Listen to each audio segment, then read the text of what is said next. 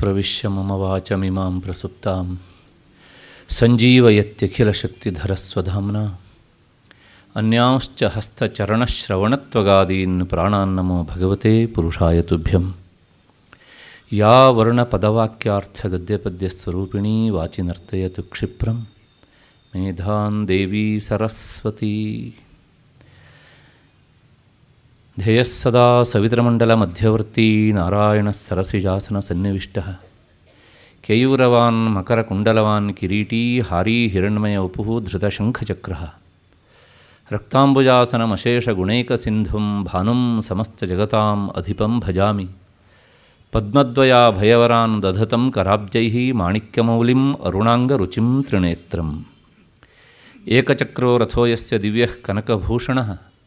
ಸಮೇ ಭವತು ಸುಪ್ರೀತಃ ಪದ್ಮಹಸ್ತೋ ದಿವಾಕರ. ಈ ಸಭಾಂಗಣದಲ್ಲಿ ಸೇರಿದಂತಹ ನನ್ನ ಅಧ್ಯಾತ್ಮ ಬಂಧುಗಳೇ, ಪ್ರಾಯೋಜಕರಾದಂಥ ಶ್ರೀಯುತ ವೆಂಕಟೇಶ್ ಮೂರ್ತಿ, ಸಹೋದರರು ಮತ್ತು ಮಿತ್ರರೇ, ಹಾಗೂ ಎಲ್ಲ ಹಿರಿಯ ಬಂಧುಗಳೇ, ನಿನ್ನೆ ದಿವಸ ನಾವು ಆದಿತ್ಯ ಹೃದಯದ ಏಳನೆಯ ಶ್ಲೋಕದವರೆಗೆ ಚಿಂತನೆ ಮಾಡಿದ್ದೇವೆ. ಆ ಕೊನೆಯ ಶಬ್ದ, ಲೋಕಾನ್ ಪಾತಿಗಭಸ್ತಿಭಿ ಇಲ್ಲಿವರೆಗೆ ನಮ್ಮ ಚಿಂತನೆ ಬಂದು ನಿಂತಿತ್ತು. ಇವತ್ತು ನಾವು ಎಂಟನೆಯ ಶ್ಲೋಕದಿಂದ ಈಚೆ ನಮ್ಮ ಚಿಂತನೆಯನ್ನು ಮುಂದುವರಿಸಬೇಕಾಗಿದೆ ಈಗ. ಎಂಟನೆಯ ಶ್ಲೋಕ, ಏಷ ಬ್ರಹ್ಮಾಚ ವಿಷ್ಣುಶ್ಚ ಶಿವಸ್ಕಂದ ಪ್ರಜಾಪತಿ ಮಹೇಂದ್ರೋ ಧನದಃ ಕಾಲ, ಯಮಃ ಸೋಮೋಹಿ ಅಪಾಂಪತಿ ಈ ಶ್ಲೋಕದಲ್ಲಿ ನಾವು ನೋಡಬೇಕಾದಂತಹ ತಾತ್ಪರ್ಯವನ್ನು ಒಮ್ಮೆ ಹೇಳಿಬಿಡ್ತೇನೆ. ಆಮೇಲೆ ಒಂದೊಂದೇ ಪದವನ್ನು ಇಟ್ಟುಕೊಂಡು ಯಥಾಮತಿ ಚಿಂತನೆಯನ್ನು ಮಾಡೋಣ. ನಿನ್ನೆ ದಿವಸ ನಾನು ಹೇಳಿದ್ದೇನೆ, ಅಗಸ್ತ್ಯರು ರಾಮನಿಗೆ ಇದನ್ನು ಉಪದೇಶ ಮಾಡುವಾಗ ಬೆಳಗಿನ ಜಾವ ಆ ಸೂರ್ಯ ಉದಯ ಕಾಲಕ್ಕೆ ಸರಿಯಾಗಿ ಇದನ್ನು ಉಪದೇಶ ಮಾಡಿದ್ದಾರೆ. ಹಾಗಾಗಿ ಇದನ್ನು ಉಪದೇಶ ಮಾಡುವಾಗ ಇದನ್ನು ಗ್ರಹಣ ಮಾಡುವ ಶ್ರೀರಾಮಚಂದ್ರ ಎದುರಿನಲ್ಲಿ ಇದ್ದಾನೆ ಎನ್ನುವುದು ಎಷ್ಟು ಸತ್ಯವೋ, ಈ ಆದಿತ್ಯ ಹೃದಯದಲ್ಲಿ ಪ್ರತಿಪಾದ್ಯನಾದಂತಹ ಸೂರ್ಯನಾರಾಯಣನೂ ಸಹ ಅವನು ಎದುರಿನಲ್ಲಿ ಇದ್ದಾನೆ. ಉಪಾಸ್ಯ ದೇವತೆ ಮುಂದುಗಡೆ ಇದೆ, ಉಪಾಸಕ ಮುಂದಕ್ಕಿದ್ದಾನೆ. ಆ ಉಪಾಸ್ಯ ದೇವತೆಯನ್ನು ಸ್ವರೂಪವನ್ನು ಶಿಷ್ಯನಾದಂಥ ರಾಮನಿಗೆ ತಿಳಿಸುವಂಥ ಅಗಸ್ತ್ಯರು ಮಧ್ಯದಲ್ಲಿದ್ದಾರೆ. ಅಂದರೆ ಇವತ್ತಿನ ಭಾಷೆಯಲ್ಲಿ ಹೇಳಬೇಕು ಅಂದರೆ ಇದು ಅಪ್ಪಟ ಪ್ರಾಕ್ಟಿಕಲ್ ಆದಂತಹ ಕ್ಲಾಸ್ ಬರೇ ಥೇರಿ ಅಲ್ಲ. ಹಾಗಾಗಿ ಅಗಸ್ತ್ಯರು ಮತ್ತೆ ಮತ್ತೆ ಹೇಳ್ತಾರೆ, ಕೈ ತೋರಿಸಿ ಹೇಳ್ತಾರೆ, ಏಷಃ ಇವನಪ್ಪ.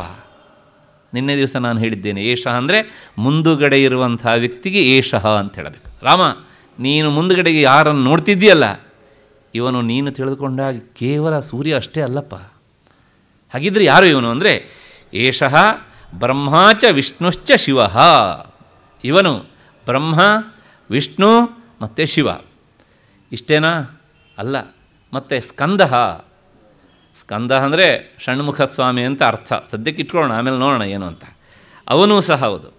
ಮತ್ತು ಪ್ರಜಾಪತಿ ಮತ್ತು ಇವನು ಪ್ರಜೆಗಳಿಗೆ ಒಡೆಯರೂ ಹೌದು. ಮತ್ತೆ ಎಂಥವನು ಇವನು ಮಹೇಂದ್ರ ಇಂದ್ರನೂ ಹೌದು. ಧನದಹ, ಕುಬೇರನೂ ಹೌದು. ಕಾಲಹ, ಕಾಲರೂಪಿಯೂ ಹೌದು. ಆ ಕಾಲರೂಪಿ ಯಾರು ಅಂದರೆ ಯಮ, ಯಮನೂ ಹೌದು. ಮತ್ತು ಸೋಮಃ ಸೋಮನೂ ಹೌದು. ಅಪಾಂ ಪತಿ. ಇವನು ಅಪ್ಪುಗಳಿಗೆಲ್ಲ ಒಡೆಯ. ಅಪ್ಪು ಅಂದರೆ ಮೇಲ್ನೋಟಕ್ಕೆ ಅರ್ಥ ನೀರು ಅಂತ. ವರುಣ ಅಂತ ಅರ್ಥ. ಸದ್ಯಕ್ಕೆ ಆ ಅರ್ಥ ಇಟ್ಕೊಳ್ಳಿ. ಆಮೇಲೆ ಅದರ ಎಟಿಮಾಲಜಿ ಏನು ಅಂತ ಆಮೇಲೆ ನೋಡೋಣ ಹೀಗೆ. ಇದಿಷ್ಟು ಶ್ಲೋಕದ ಭಾವಾರ್ಥ.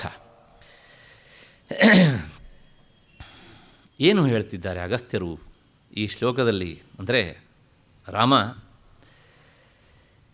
ಸೂರ್ಯ, ಇವನು ಬ್ರಹ್ಮ, ವಿಷ್ಣು ಮತ್ತು ಮಹೇಶ್ವರ ಅಂತ ನಾವು ಏನು ಹೇಳ್ತೇವಲ್ಲ, ಈತ ಆ ತ್ರಿಮೂರ್ತಿಗಳ ಸಾಕ್ಷಾತ್ ಮೈಗೂಡಿಗೊಂಡು ಬಂದಂತಹ ರೂಪನಿದ್ದಾನೆ.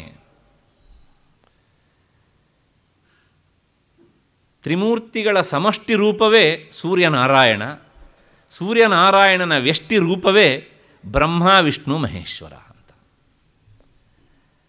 ಅಲ್ಲ, ವ್ಯಷ್ಟಿ ರೂಪ ಅಂದರೆ ಹೇಗ್ರಿ? ಅವನನ್ನು ನಾವೇನು ವಿಭಾಗ ಮಾಡೋಕ್ಕಾಗತ್ತನ್ರಿ? ಒಂದೊಂದು ಪೀಸ್ ಮಾಡಲಿಕ್ಕಾಗ್ತದ್ಯಾ? ಹೇಗೆ ಇದರ ಅರ್ಥ? ಸಮನ್ವಯ ಹೇಗೆ? ಅಂದರೆ, ಅರ್ಥ ಸಮನ್ವಯ ಹೇಗೆ ಅಂದರೆ, ನಾವು ಕೇವಲ ಅವರ ಆ ಹೊರಗಿನ ಆಕಾರವನ್ನಷ್ಟೇ ಇಟ್ಕೊಂಡು ನೋಡಲಿಕ್ಕೆ ಹೋದರೆ ಏನೂ ಹೊಂದಾಣಿಕೆ ಆಗೋದಿಲ್ಲ. ಅಗಸ್ತ್ಯರು ಏನೋ ರಾಮನಿಗೆ ತಪ್ಪಾಗಿ ಹೇಳ್ತಾ ಇದ್ದಾರೇನೋ ಅಂತ ನಮಗನಿಸತ್ತೆ ಅವರು ತಪ್ಪಾಗಿ ಹೇಳ್ತಲ್ಲ, ಅವರು ಬಹಳ ಸರಿಯಾಗಿ ಹೇಳ್ತಿದ್ದಾರೆ, ಕರಾರುವಾಕಾಗಿ ಹೇಳ್ತಿದ್ದಾರೆ. ನಮಗೆ ಬ್ರಹ್ಮ, ವಿಷ್ಣು, ಮಹೇಶ್ವರರ ಸಮಷ್ಟಿ ರೂಪ ಅಂದ ತಕ್ಷಣ ಒಂದು ಸಲ ಗಾಬರಿ ಆಗತ್ತೆ. ಏನು ಗಾಬರಿ ಆಗತ್ತೆ? ಇದಾಗಲಿಕ್ಕೆ ಸಾಧ್ಯ ಇಲ್ಲ ಅಂತ. ಆಗತ್ತೆ ಅಂತ. ಹೇಗೆ ಆಗತ್ತೆ ಅಂದರೆ, ನೋಡಿ ಮೊದಲನೇ ಶಬ್ದ ಅವರು ಹೇಳುವಂಥದ್ದು, ಏಷಃ ಬ್ರಹ್ಮ, ಇವನು ಬ್ರಹ್ಮ. ಬ್ರಹ್ಮ ಅನ್ನೋದು ಅದು ನಕಾರ ಅಂತ ಪುಲ್ಲಿಂಗ, ಚತುರ್ಮುಖ ಬ್ರಹ್ಮ ಅಂತ ಅರ್ಥ. ವೇದಾಂತ ಪ್ರತಿಪಾದ್ಯವಾದ ನಪುಂಸಕಲಿಂಗವಾದ ಪರಬ್ರಹ್ಮ ಅಂತ ಅರ್ಥ ಅಲ್ಲ ಇಲ್ಲಿ. ಅದಕ್ಕೋಸ್ಕರ ಬ್ರಹ್ಮ ಅಂತ ಉಂಟು. ಈ ಚತುರ್ಮುಖ ಬ್ರಹ್ಮನ ಕೆಲಸ ಏನು? ಅಂದರೆ ಈತನ ಕೆಲಸ ಸೃಷ್ಟಿ ಮಾಡುವುದು. ಅವನ ಹೆಸರೇ ಸೃಷ್ಟಿಕರ್ತ ಅಂತ. ಆ ಬ್ರಹ್ಮನ ಕೆಲಸವನ್ನು ಸೂರ್ಯ ಮಾಡ್ತಾನೆ. ಹಾಗಾಗಿ ಅವನು ಬ್ರಹ್ಮ. ಮತ್ತು ವಿಷ್ಣು ವಿಷ್ಣು ಏನು ಮಾಡ್ತಾನೆ ಅಂದರೆ ಈ ಪ್ರಪಂಚದ ಪಾಲನಕರ್ತ ಆತ. ಆ ವಿಷ್ಣು ಮಾಡುವಂಥ ಪಾಲನೆ ಕೆಲಸವನ್ನು ಇವನು ಮಾಡ್ತಾನೆ ಆದ್ದರಿಂದ ಆ ಕಾರ್ಯದ ಹೊಣೆಗಾರಿಕೆಯಿಂದಾಗಿ ಇವನು ವಿಷ್ಣು ಸ್ವರೂಪನಿದ್ದಾನೆ. ಮತ್ತು ಮೂರನೇದು ಶಿವ ಸಾಮಾನ್ಯವಾಗಿ ಇಂಥ ಸಂದರ್ಭದಲ್ಲಿ ನಾವು ರುದ್ರ ಅಂತ ಶಬ್ದವನ್ನು ಪ್ರಯೋಗ ಮಾಡ್ತೇವೆ. ರುದ್ರ ಅಂದರೂ ಒಂದೇ ಶಿವ ಅಂದರೂ ಒಂದೇ. ಅವನ ಕೆಲಸ ಏನು ಅಂದರೆ ಅವನ ಕೆಲಸ ಸಂಹಾರ ಮಾಡುವಂಥದ್ದು. ಆ ಸಂಹಾರ ಮಾಡುವ ಕೆಲಸವನ್ನು ಸಹ ಈತ ಮಾಡ್ತಾನೆ. ಆದ್ದರಿಂದ ಈತ ತ್ರಿಮೂರ್ತಿಗಳ ರೂಪ ಅಂತ. ಇಷ್ಟೇ ಇದ್ರೊಳಗೆ ನಮಗೆ ಅರ್ಥ ಆಗುವುದಿಲ್ಲ. ಇನ್ನೂ ಬಿಡಿಸ್ಬೇಕು. ಹಾಗಿದ್ರೆ ಏನು? ಅಂದರೆ ಚತುರ್ಮುಖ ಸೃಷ್ಟಿಕರ್ತ ಈ ಪ್ರಪಂಚದ ಸೃಷ್ಟಿಯನ್ನು ಮಾಡ್ತಾನೆ. ಹಾಗೆಯೇ ಸೂರ್ಯನು ಸೃಷ್ಟಿಕರ್ತ. ಚತುರ್ಮುಖ ಎಲ್ಲೋ ಎಷ್ಟೋ ಕೋಟಿ ವರ್ಷಗಳಿಗೊಮ್ಮೆ ಸೃಷ್ಟಿ ಮಾಡ್ತಾನೆ. ಇವನು ದಿನವೂ ಈ ಪ್ರಪಂಚವನ್ನು ಸೃಷ್ಟಿ ಮಾಡ್ತಾನೆ. ಸೃಷ್ಟಿ ಅಂದರೆ ಏನು? ಸೃಷ್ಟಿ ಅಂದರೆ ಕ್ರಿಯೇಷನ್ ಅಂದರೆ ಸದಾ ಚಲನೆಯಿಂದ ಕೂಡಿರುವುದು ಅಂತ ಅರ್ಥ. ಅಲ್ವಾ? ಈ ಪ್ರಪಂಚದ ನಮ್ಮೆಲ್ಲರ ಚಲನೆ ಪ್ರಾರಂಭ ಆಗುವುದು ಯಾವ ಕ್ಷಣದಿಂದ, ಯಾವ ಹೊತ್ತಿನಿಂದ? ಬೆಳಗಿನ ಜಾವದಿಂದ. ಯಾಕೆ ನಮ್ಮ ಚಲನೆ ಪ್ರಾರಂಭ ಆಗುತ್ತೆ ಅಂದರೆ, ಈ ಪ್ರಪಂಚಕ್ಕೆ ಚಲನೆಯನ್ನು ಕೊಡುವಂಥ ಆತ ಉದಯನಾಗಿ ಈ ಪ್ರಪಂಚಕ್ಕೆ ಸೃಷ್ಟಿಕ್ರಿಯೆಗೆ ನಮ್ಮನ್ನು ತೊಡಗಿಸ್ತಾನೆ. ಅಂದರೆ ನಾವು ನಾವು ಯಾವ ಯಾವ ಕೆಲಸದಲ್ಲಿ ತೊಡಗಬೇಕೋ ಆ ಎಲ್ಲ ಕೆಲಸದಲ್ಲಿ ನಮ್ಮನ್ನು ಪ್ರಚೋದಿಸಿ ಆತ ಈ ಪ್ರಪಂಚವನ್ನು ಸೃಷ್ಟಿ ಮಾಡ್ತಾನೆ ಅಂದರೆ ಪ್ರಪಂಚದ ಕ್ರಿಯೆಯನ್ನು ಸೃಷ್ಟಿಸ್ತಾನೆ.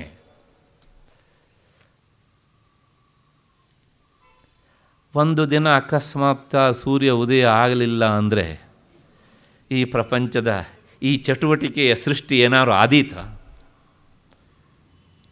ನಾವು ಊಹಿಸಿಕೊಳ್ಳಿಕ್ಕೂ ಸಾಧ್ಯ ಇಲ್ಲ ಅದನ್ನು. ಹಾಗಾಗಿ ಚತುರ್ಮುಖ ಬ್ರಹ್ಮ ಸೃಷ್ಟಿ ಮಾಡುವ ಹಾಗೆ ಈ ಪ್ರಪಂಚದ ಕಾರ್ಯವನ್ನು, ಚಟುವಟಿಕೆಗಳನ್ನು ತಾನು ಉದಯಿಸಿ ಸೃಷ್ಟಿಸ್ತಾನೆ ಆದ್ದರಿಂದ ಸೂರ್ಯ ಬ್ರಹ್ಮ, ಏಷ ಬ್ರಹ್ಮ. ಆಯಿತು. ಮತ್ತೆ ಇಲ್ಲಿ ಸ್ವಲ್ಪ ಆರ್ಡ್ರನ್ನು ವ್ಯತ್ಯಾಸ ಮಾಡ್ಕೊಳ್ಬೇಕು. ರುದ್ರ, ಶಿವ. ಶಿವನು ಮಾಡುವ ಸಂಹಾರದ ಕೆಲಸವನ್ನು ಈತ ಮಾಡ್ತಾನೆ ಆದ್ದರಿಂದ ರುದ್ರ ಅಥವಾ ಶಿವ ಅಂತ. ಹೇಗೆ ಅಂದರೆ, ಬೆಳಗ್ಗೆ ಉದಯ ಆಯಿತು, ಒಂಬತ್ತಾಯಿತು, ಹತ್ತಾಯಿತು, ಹನ್ನೊಂದಾಯಿತು, ಹನ್ನೆರಡಾಯಿತು. ಮತ್ತು ಮನಸ್ಸಿಗೆ ತಂದುಕೊಳ್ಳಿ, ಸುಮಾರು ಏಪ್ರಿಲ್, ಮೇ ತಿಂಗಳುಗಳ ಕಾಲ ಸಮಯ. ಮಧ್ಯಾಹ್ನದ ರಣಬಿಸಿಲು. ಆಗ ಈ ಪ್ರಪಂಚದ ಸ್ಥಿತಿ ಹೇಗಿರ್ತದೆ? ಎಲ್ಲರೂ ಸಹ ಬಯಸುವುದೇನು ಕೇಳಿದರೆ ಒಂದು ನೆರಳನ್ನು. ಅಷ್ಟರ ಮಟ್ಟಿಗೆ ತನ್ನ ಬಿಸಿಲಿನ ಬೇಗೆಯಿಂದ ನಮ್ಮ ಈ ದೇಹವನ್ನು ಸಂಹಾರ ಮಾಡಿರ್ತಾನೆ. ದೇಹವನ್ನು ಅಂದರೆ ದೇಹದ ಶಕ್ತಿಯನ್ನು ಅಂತ ಅರ್ಥ. ಅಲ್ವಾ? ಸದ್ಯ ಎಲ್ಲರೂ ಒಂದು ಎರಡು ತಾಸು ನೆರಳು ಸಿಕ್ಕಿದ್ರೆ ಸಾಕಪ್ಪ ಅಂತ ಉಶ್ ಅಂತ ನಾವೆಲ್ಲರೂ ಸಹ ಇಷ್ಟಿಷ್ಟುದ್ದ ಶ್ವಾಸ ಬಿಡ್ತೇವೆ. ಅಗಸ್ತ್ಯರು ಕೇಳ್ತಾರೆ ರಾಮ, ಇದು ಸಂಹಾರ ಅಲ್ವೇನು? ಮಧ್ಯಾಹ್ನದ ಹೊತ್ತಿನಲ್ಲಿ ಯಾರನ್ನಾದರೂ ನೋಡಿ ಏನು ಮಾಡ್ತಾರೆ ಅಂದರೆ ಈ ಬಿಸಿಲ ಬೇಗೆಗೆ ಬೆಂದು ಕೊನೆಗೆ ತಮ್ಮನ್ನೇ ತಾವು ಮರೆತು ಪವಡಿಸು ಪರಮಾತ್ಮ ಅಂತ ಬಿದ್ದಿರ್ತಾರೆ. ಇದು ಸಂಹಾರ ಅಲ್ವೇನು ಈ ಕೆಲಸವನ್ನು ಅವನು ಮಾಡ್ತಾನೆ ಆದ್ದರಿಂದ ಏಷಃ ಶಿವ, ಏಷಃ ರುದ್ರ. ಹಾಗಿದ್ರೆ ಮುಂದೆ ವಿಷ್ಣು ಅಂತ. ವಿಷ್ಣುವಿನ ಕೆಲಸ ಏನು? ಪ್ರಪಂಚದ ಪಾಲನೆ. ಆ ಪಾಲನೆ ಕೆಲಸವನ್ನು ಅವನು ಮಾಡ್ತಾನೆ. ನಿನ್ನೆ ದಿವಸ ನಾವು ನೋಡಿದ್ದೇವೆ, ಅನ್ನ, ಆಹಾರ ಇವುಗಳನ್ನೆಲ್ಲ ಕೊಡ್ತಾನೆ. ಹೇಗೆ ಅಂದರೆ ವೃಷ್ಟಿಯ ರೂಪದಿಂದ ಅಂತ. ಹಾಗಾಗಿ ಅವನು ವಿಷ್ಣು ಹೌದು. ಇಷ್ಟೇ ಅಲ್ಲ, ರಾತ್ರಿ ನಾವೆಲ್ಲರೂ ನಿದ್ದೆ ಮಾಡ್ತೇವೆ. ನಾವೆಲ್ಲರೂ ಇಡೀ ಪ್ರಪಂಚವೇ ಪ್ರಪಂಚದಲ್ಲಿ ಯಾವ್ಯಾವುದು ಚೇತನವಾದದ್ದು ಅಂತ ಉಂಟೋ, ಗೂಬೆ ಒಂದನ್ನು ಬಿಟ್ಟು ಮಿಕ್ಕ ಎಲ್ಲವೂ ಸಹ ನಿದ್ದೆ ಮಾಡ್ತವೆ. ನಿದ್ದೆ ಮಾಡಿದ್ವಿ. ನಿದ್ದೆಯಲ್ಲಿ ನಿಮ್ಮನ್ನು ಪಾಲಿಸುವವನು ಯಾವನು? ನಿಮ್ಮ ರಕ್ಷಣೆ ಹೊಣೆಗಾರಿಕೆ ಯಾರಿಗೆ ಕೊಟ್ಟಿದ್ರಿ ನೀವು? ಯಾಕೆ ಈ ಮಾತನ್ನು ಕೇಳ್ತೇನೆ ಅಂದರೆ, ಕಣ್ಣು ಮುಚ್ಚಿದವರು ಪರ್ಮನೆಂಟಾಗಿ ಕಣ್ಣು ಮುಚ್ಚಿಯೇ ಬಿಟ್ರೆ? ಹಾಗೆ ನೀವು ಕಣ್ಣು ಮುಚ್ಚಿದಾಗ ಮತ್ತೆ ತೆರೆಯುವಷ್ಟು ಹೊತ್ತೂ ಸಹ ನಿಮ್ಮನ್ನು ಒಳಗಿನಿಂದ ರಕ್ಷಿಸುವಂಥ ಚೈತನ್ಯ ಯಾವುದೋ ಆ ಚೈತನ್ಯ ಇವನೇ ಅಪ್ಪ ಹಾಗಾಗಿ ವಿಷ್ಣುವಿನ ಕೆಲಸ ಪಾಲನೆ ಮಾಡುವುದು. ಆ ರಾತ್ರಿ ಹೊತ್ತು ಇಡೀ ಚರಾಚರ ಪ್ರಪಂಚ ನಮ್ಮ ಕೈಯಲ್ಲಿ ಇರುವುದಿಲ್ಲ ನಮ್ಮ ಕೈಯಲ್ಲಿ ಏನಿರ್ತದೆ, ಏನೂ ಇರೋದಿಲ್ಲ. ಪಕ್ಕದಲ್ಲಿ ಮಲಗಿದಂಥ ಮಕ್ಕಳು ನಮ್ಮ ಮಕ್ಕಳು ಅಂತ ನಮಗೆ ಗೊತ್ತಿಲ್ಲ. ನಮ್ಮ ತಂದೆ ಮನೆಗೆ ನಿಮ್ಮ ತಂದೆ ಅಂತ ಗೊತ್ತಿಲ್ಲ. ಪಕ್ಕದಲ್ಲಿರುವ ಹೆಂಡತಿ ಹೆಂಡತಿ ಅಂತ ಗೊತ್ತಿಲ್ಲ. ಹೆಂಡತಿ ಗಂಡ ಅಂತ ಗೊತ್ತಿಲ್ಲ.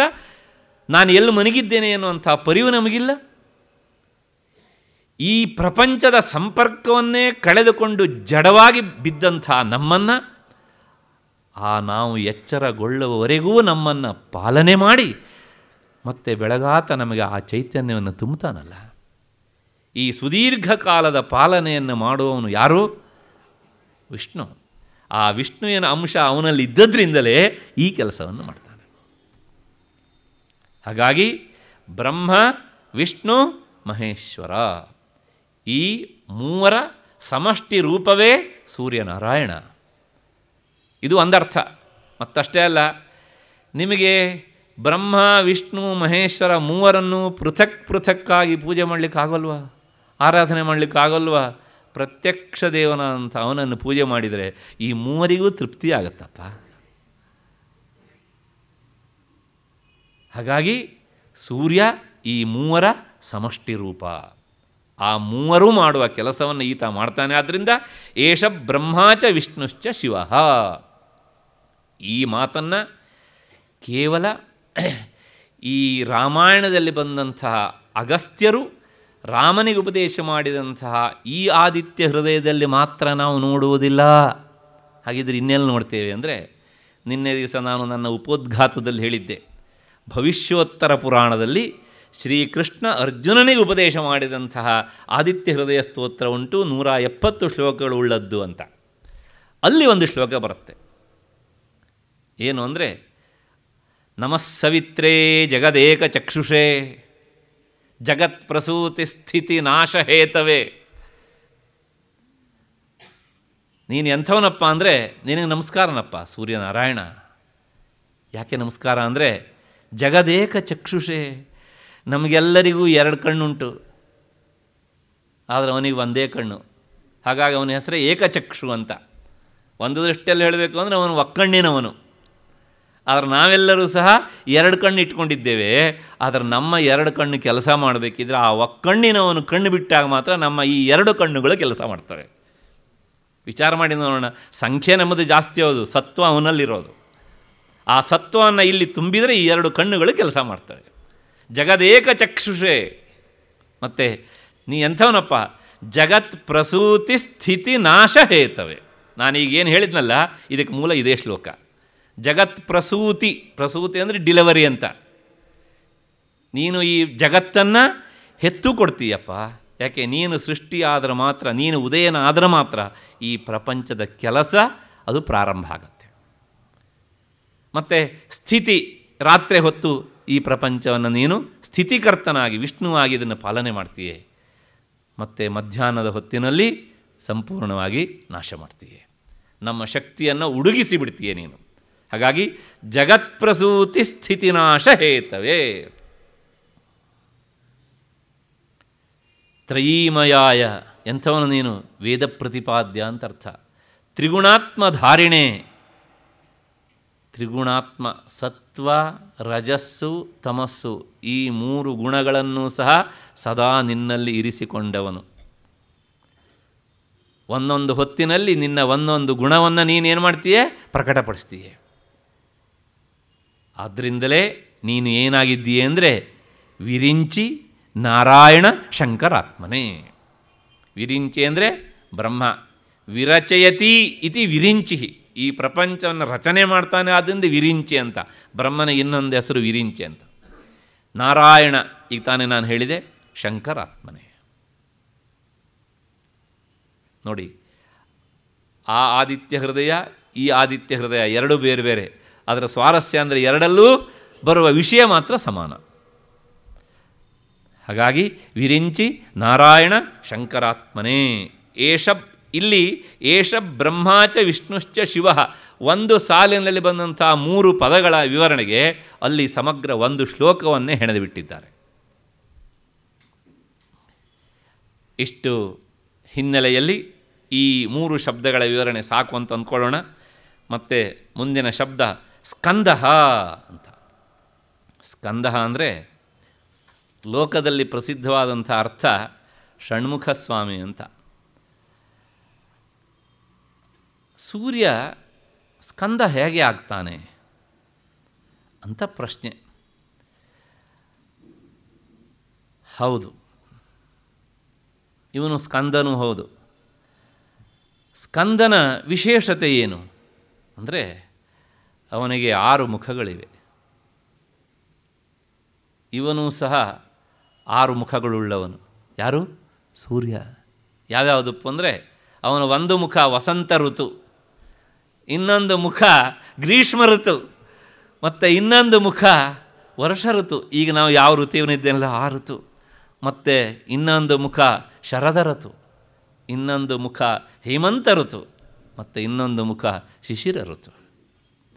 ಹೇಳ್ರಿ, ಇವನು ಷಣ್ಮುಖ ಹೌದಾ ಅಲ್ವಾ? ಹಾಗಾಗಿ ಸ್ಕಂದ ಆಯಿತು, ಇದು ಒಂದು ಅರ್ಥ. ಮತ್ತು ಇನ್ನೊಂದು ಅರ್ಥ, ಇದು ವೇದಾಂತದ ಅರ್ಥ. ಇದು ನಿಮಗೆ ಪರಿಚಯ ಇದ್ದದ್ದನ್ನು ನಾನು ನೆನಪಿಸಿಕೊಟ್ಟಿದ್ದೇನೆ ಅಷ್ಟೇ ಹೇಗೆ ಸೂರ್ಯ ಸ್ಕಂದನಾಗ್ತಾನೆ ಅಂತ. ಅವನಿಗೆ ನೇರವಾಗಿ ಆರು ಮುಖಗಳು, ಇವನ ಆರು ಮುಖಗಳು ಕಾಲರೂಪವಾದ ಆರು ಮುಖಗಳು. ಋತುಗಳ ಹಿನ್ನೆಲೆಯಲ್ಲಿ ನಾವು ನೋಡಿದ್ವಿ ಅದನ್ನು. ಮತ್ತು ಇದಕ್ಕೆ ಸಂಬಂಧಪಟ್ಟ ಹಾಗೆ ವಿವರಣೆ ಮತ್ತೆ ಮುಂದೆ ಬರ್ತದೆ. ಋತುಕರ್ತ ಅಂತ. ಅಲ್ಲ ಮತ್ತೆ ನೋಡೋರಿದ್ದೇವೆ ನಾವು. ಇಲ್ಲಿ ಇಷ್ಟಕ್ಕೆ ಸಾಕು ಆ ವಿವರಣೆ. ಇದರ ಇನ್ನೊಂದು ಮುಖ ಏನು ಅಂದರೆ, ಸ್ಕಂದ ಅಂದರೆ ಏನು? ಸ್ಕಂದತಿ ಇತಿ ಸ್ಕಂದ. ಸ್ಕಂದತಿ ಅಂದರೆ ಈ ಶಬ್ದದ ಎಟಿಮಾಲಜಿ, ಅದರ ನಿಷ್ಪತ್ತಿ ಬಹಳ ವಿಶಿಷ್ಟವಾಗುಂಟು ಏನು ಅಂದರೆ ಸ್ಕಂದಿರ್ ಗತಿ ಶೋಷಣಯೋ ಅಂತ ಧಾತು ಉಂಟು. ಆ ಧಾತು ಸ್ಕಂದಿರ್ ಅಂತ ಧಾತು. ಅದಕ್ಕೆ ಎರಡು ಮೀನಿಂಗ್ಗಳಿವೆ ಒಂದು ಗತಿ, ಇನ್ನೊಂದು ಶೋಷಣ ಅಂತ. ಗತಿ ಅಂದರೆ ಚಲನೆ. ಇನ್ನೊಂದು ಶೋಷಣ ಅಂದರೆ ಹೀರೋದು ಅಂತ ಅರ್ಥ. ಆ ಎರಡು ಅರ್ಥ ಉಂಟು ಸ್ಕಂದ ಧಾತುವಿಗೆ. ಆ ಹಿನ್ನೆಲೆಯಲ್ಲಿ ಈ ಅರ್ಥವನ್ನು ನಾವು ಇಲ್ಲಿ ಹೊಂದಿಸಿಕೊಳ್ಬೇಕು ಏನು ಹೇಳಬೇಕು ಅಂದರೆ ಸ್ಕಂದತಿ ಅಂದರೆ ಈತ ಜಾರ್ತಾನೆ ಚಲಿಸ್ತಾನೆ ಅಂತ. ಎಲ್ಲಿಂದ? ಉದಯಗಿರಿಯಿಂದ ಅಸ್ತಗಿರಿಗೆ ಜಾರ್ತಾನೆ ಅಸ್ತಗಿರಿಯಿಂದ ಉದಯಗಿರಿಗೆ ಜಾರ್ತಾನೆ ಆದ್ದರಿಂದ ಸ್ಕಂದತೀತಿ ಸ್ಕಂದ. ಪೂರ್ವ ದಿಕ್ಕಿನಿಂದ ಪಶ್ಚಿಮಕ್ಕೆ ಜಾರ್ತಾನೆ ಪಶ್ಚಿಮದಿಂದ ಮತ್ತು ಪುನಃ ಬೆಳಗಾವುಗಳಿಗೆ ಪೂರ್ವದಲ್ಲಿ ನಮಗೆ ಕಂಡು ಬರ್ತಾನೆ. ಅಂದರೆ ಅವನು ಸದಾ ಚಲಿಸ್ತಾನೆ ಆದ್ದರಿಂದ ಸ್ಕಂದತಿ ಇತಿ ಸ್ಕಂದ.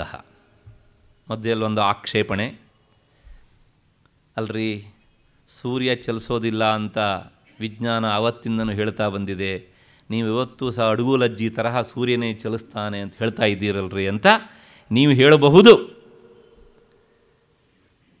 ನಾನು ವಿಜ್ಞಾನಿಗಳ ಮಾತನ್ನು ಅಲ್ಲಗಳೆಯುವುದಿಲ್ಲ ಆದರೆ ನಮ್ಮ ನಿಮ್ಮೆಲ್ಲರ ಲೋಕದ ಅನುಭವ ಹೇಗುಂಟು ಅನ್ನೋದನ್ನು ಮೊದಲು ಹೇಳಿ. ಯಾವುದೇ ಇನ್ಸ್ಟ್ರುಮೆಂಟ್ ಇಲ್ಲದೇ ನಾವು ಬೆಳಗಾತ ಎದ್ದು ಯಾವ ಮುಖದಲ್ಲಿ ಕೂತಿರ್ತೇವೋ ಅದೇ ಮುಖದಲ್ಲಿ ಹಾಗೇ ಕೂತ್ಕೊಂಡಿರೋಣ. ಆದರೆ ನಮ್ಮ ಅನುಭವ ಏನುಂಟು ಅಂತಂದರೆ ಸೂರ್ಯನೇ ನಮ್ಮ ಸುತ್ತ ಸುತ್ತಾನೆ ವಿಜ್ಞಾನಿಗಳ ಮಾತನ್ನು ಅಲ್ಲಗಳಿತಾ ಇಲ್ಲ ನಾನು. ಎಲ್ಲರ ಅನುಭವವು ಹಾಗೇ ಇರೋದು. ದಡ್ಡನಾಗಿರಲಿ ಅವನು ಬುದ್ಧಿವಂತನಾಗಿರಲಿ. ಆ ಹಿನ್ನೆಲೆಯಲ್ಲಿ ಸೂರ್ಯನೇ ಚಲಿಸ್ತಾನೆ ಎನ್ನುವಂಥದ್ದು. ಮತ್ತು ವಿಜ್ಞಾನಿಗಳು ಹಾಗೆ ಹೇಳಲಿ, ಆದರೆ ನಮ್ಮ ಜ್ಯೋತಿಷ್ಯಾದಿ ಶಾಸ್ತ್ರಗಳು ಅದನ್ನು ಪೂರ್ತಿ ಒಪ್ಕೊಳ್ಳೋದಿಲ್ಲ. ಯಾಕೆ ಕೇಳಿದರೆ, ಜ್ಯೋತಿಷ್ಯ ಶಾಸ್ತ್ರಕ್ಕೆ ಅದಕ್ಕೆ ಅದರದ್ದಾದಂತಹ ಅನಾದಿ ಕಾಲದಿಂದಲೂ ಅದಕ್ಕೆ ಅಸ್ತಿತ್ವ ಉಂಟು. ಪ್ರತ್ಯಕ್ಷಂ ಜ್ಯೋತಿಷಂ ಶಾಸ್ತ್ರಂ ಅಂತ. ಹಾಗಾಗಿ ನಮ್ಮ ಋಷಿಮುನಿಗಳು ಅದನ್ನು ಇವತ್ತಿನ ಈ ಯಾವ ಸಲಕರಣೆಗಳು ಇಲ್ಲದೇ ಇದ್ದಂಥ ಕಾಲದಲ್ಲಿ ಅದನ್ನು ಪತ್ತೆ ಹಚ್ಚಿ ಇರಿಸಿದ್ದಾರೆ. ಅದನ್ನು ಅಲ್ಲಗಳೆಯುವಂಥ ಧೈರ್ಯ ನಮಗಿಲ್ಲ. ಯಾಕಿಲ್ಲ ಅಂತ ಕೇಳಿದರೆ ಗ್ರಹಣದ ದಿವಸ ಪೇಪರಲ್ಲಿ ಗ್ರಹಣಕ್ಕೆ ಸಂಬಂಧಪಟ್ಟಂಥ ವಿಷಯ ಬರುತ್ತೆ. ಅಲ್ಲಿ ಬಹುಭಾಗ ಪಂಚಾಂಗದಲ್ಲಿ ಬರೆದಿದ್ದನ್ನು ಕಾಪಿ ಹೊಡೆದು ಬರೆದಿರ್ತಾರೆ. ಅಲ್ವಾ? ಅಲ್ಲಗಳೇಕಾಗುತ್ತಾ ನಾವು? ಆಮೇಲೆ ಅವ್ರಿಗೆ ಗೊತ್ತಾಯಿತು, ಓಹೋ, ನಾವು ಗ್ರಹಣದ ಬಗ್ಗೆ ಪೇಪಲ್ ಎಷ್ಟು ಕೊಟ್ಟರೂ ಸಹ ನಮ್ಮ ಈ ಪೇಪರ್ ಸ್ಟೇಟ್ಮೆಂಟಿಗೆ ಬೆಲೆ ಇಲ್ಲ ಅಂಥೇಳಿ ಇತ್ತೀಚೆಗೆ ಅವರು ಸಹ ಗ್ರಹಣದ ಫಲವನ್ನು ಪೇಪರಲ್ಲಿ ಹಾಕೋದಕ್ಕೆ ಶುರು ಮಾಡಿದ್ದಾರೆ. ಈ ಪೇಪರು ಇದರ ಜಾಯಮಾನ ಹುಟ್ಟೋದಕ್ಕಿಂತ ಮೊದಲೇ ಗ್ರಹಣದ ಬಗ್ಗೆ ಇಲ್ಲೇ ಕುಳಿತುಕೊಂಡು ಗಣಿತ ಮಾಡಿ ಪತ್ತೆ ಹಚ್ಚಿದವರು ನಮ್ಮ ಋಷಿಮುನಿಗಳು ಅವರು ಏನಿದ್ದು ದುರ್ಬಿನಿತ್ತ ಏನಿತ್ತು ಅವ್ರ ಹತ್ರ? ಏನೂ ಇರಲಿಲ್ಲ. ಹಾಗಾಗಿ ಸೂರ್ಯನ ಚಲನೆಯನ್ನಿಟ್ಟುಕೊಂಡೇ ಇಡೀ ಜ್ಯೋತಿಷ್ಯ ಶಾಸ್ತ್ರ ಹುಟ್ಟಿತು. ಗ್ರಹಾಣಾಂ ಅಧಿಪ ಭಾನು.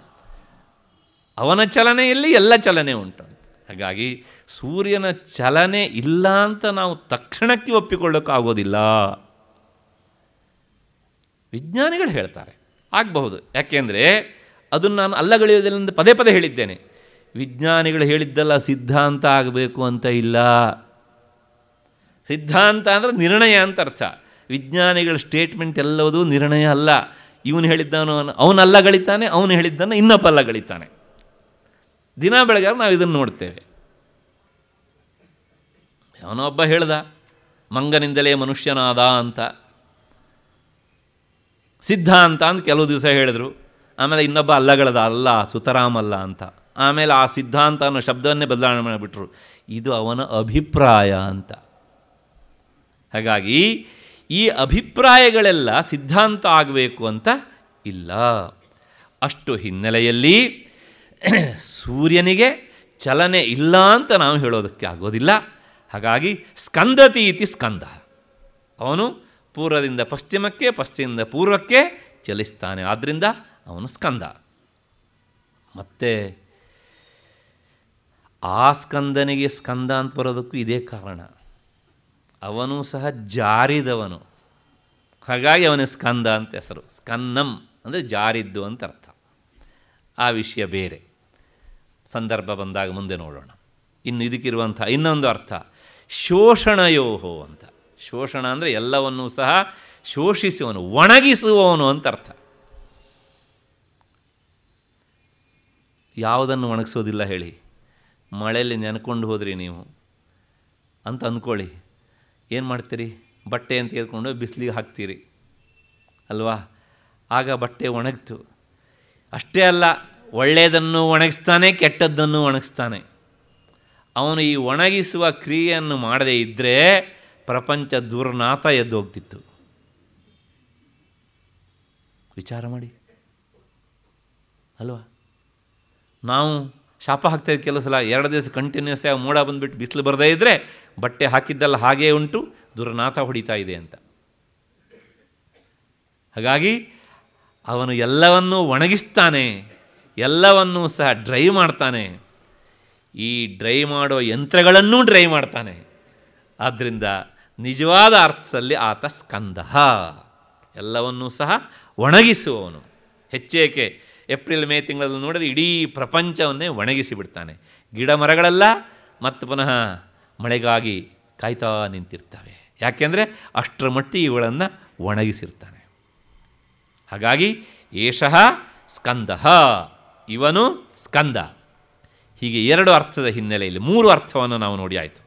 ಇಲ್ಲಿಗೆ ಈ ಅರ್ಥ ಸಾಕು. ಮತ್ತು ಮುಂದಿನ ಶಬ್ದದ ಅರ್ಥ ನೋಡೋಣ. ಪ್ರಜಾಪತಿ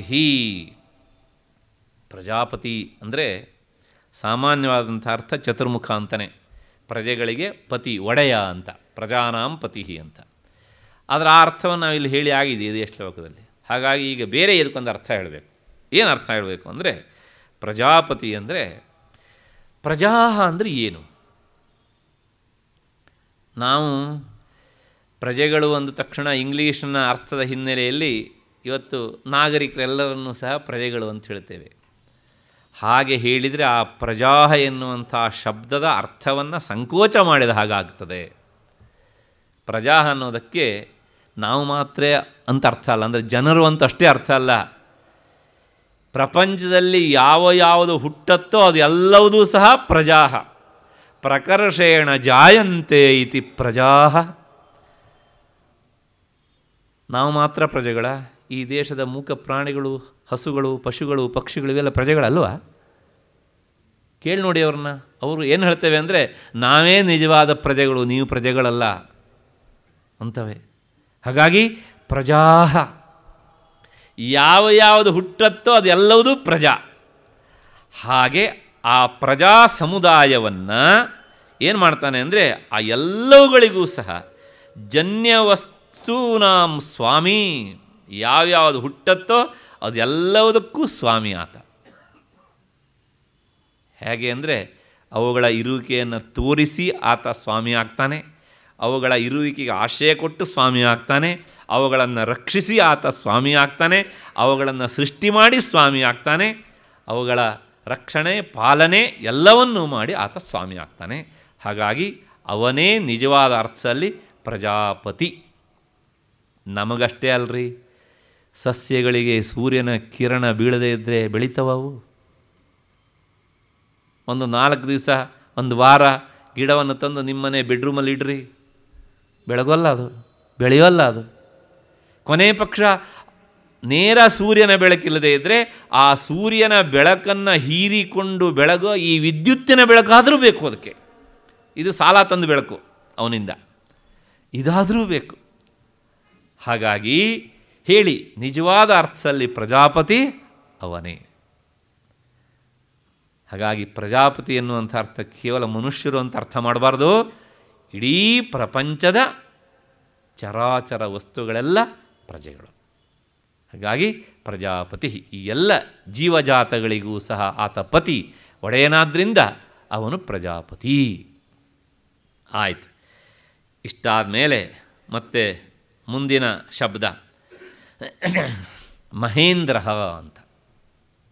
ಮಹೇಂದ್ರ ಅಂದರೆ ನಮಗೆಲ್ಲರಿಗೂ ಗೊತ್ತು. ದೇವೇಂದ್ರನ ಇನ್ನೊಂದು ಹೆಸರು ಮಹೇಂದ್ರ ಅಂತ.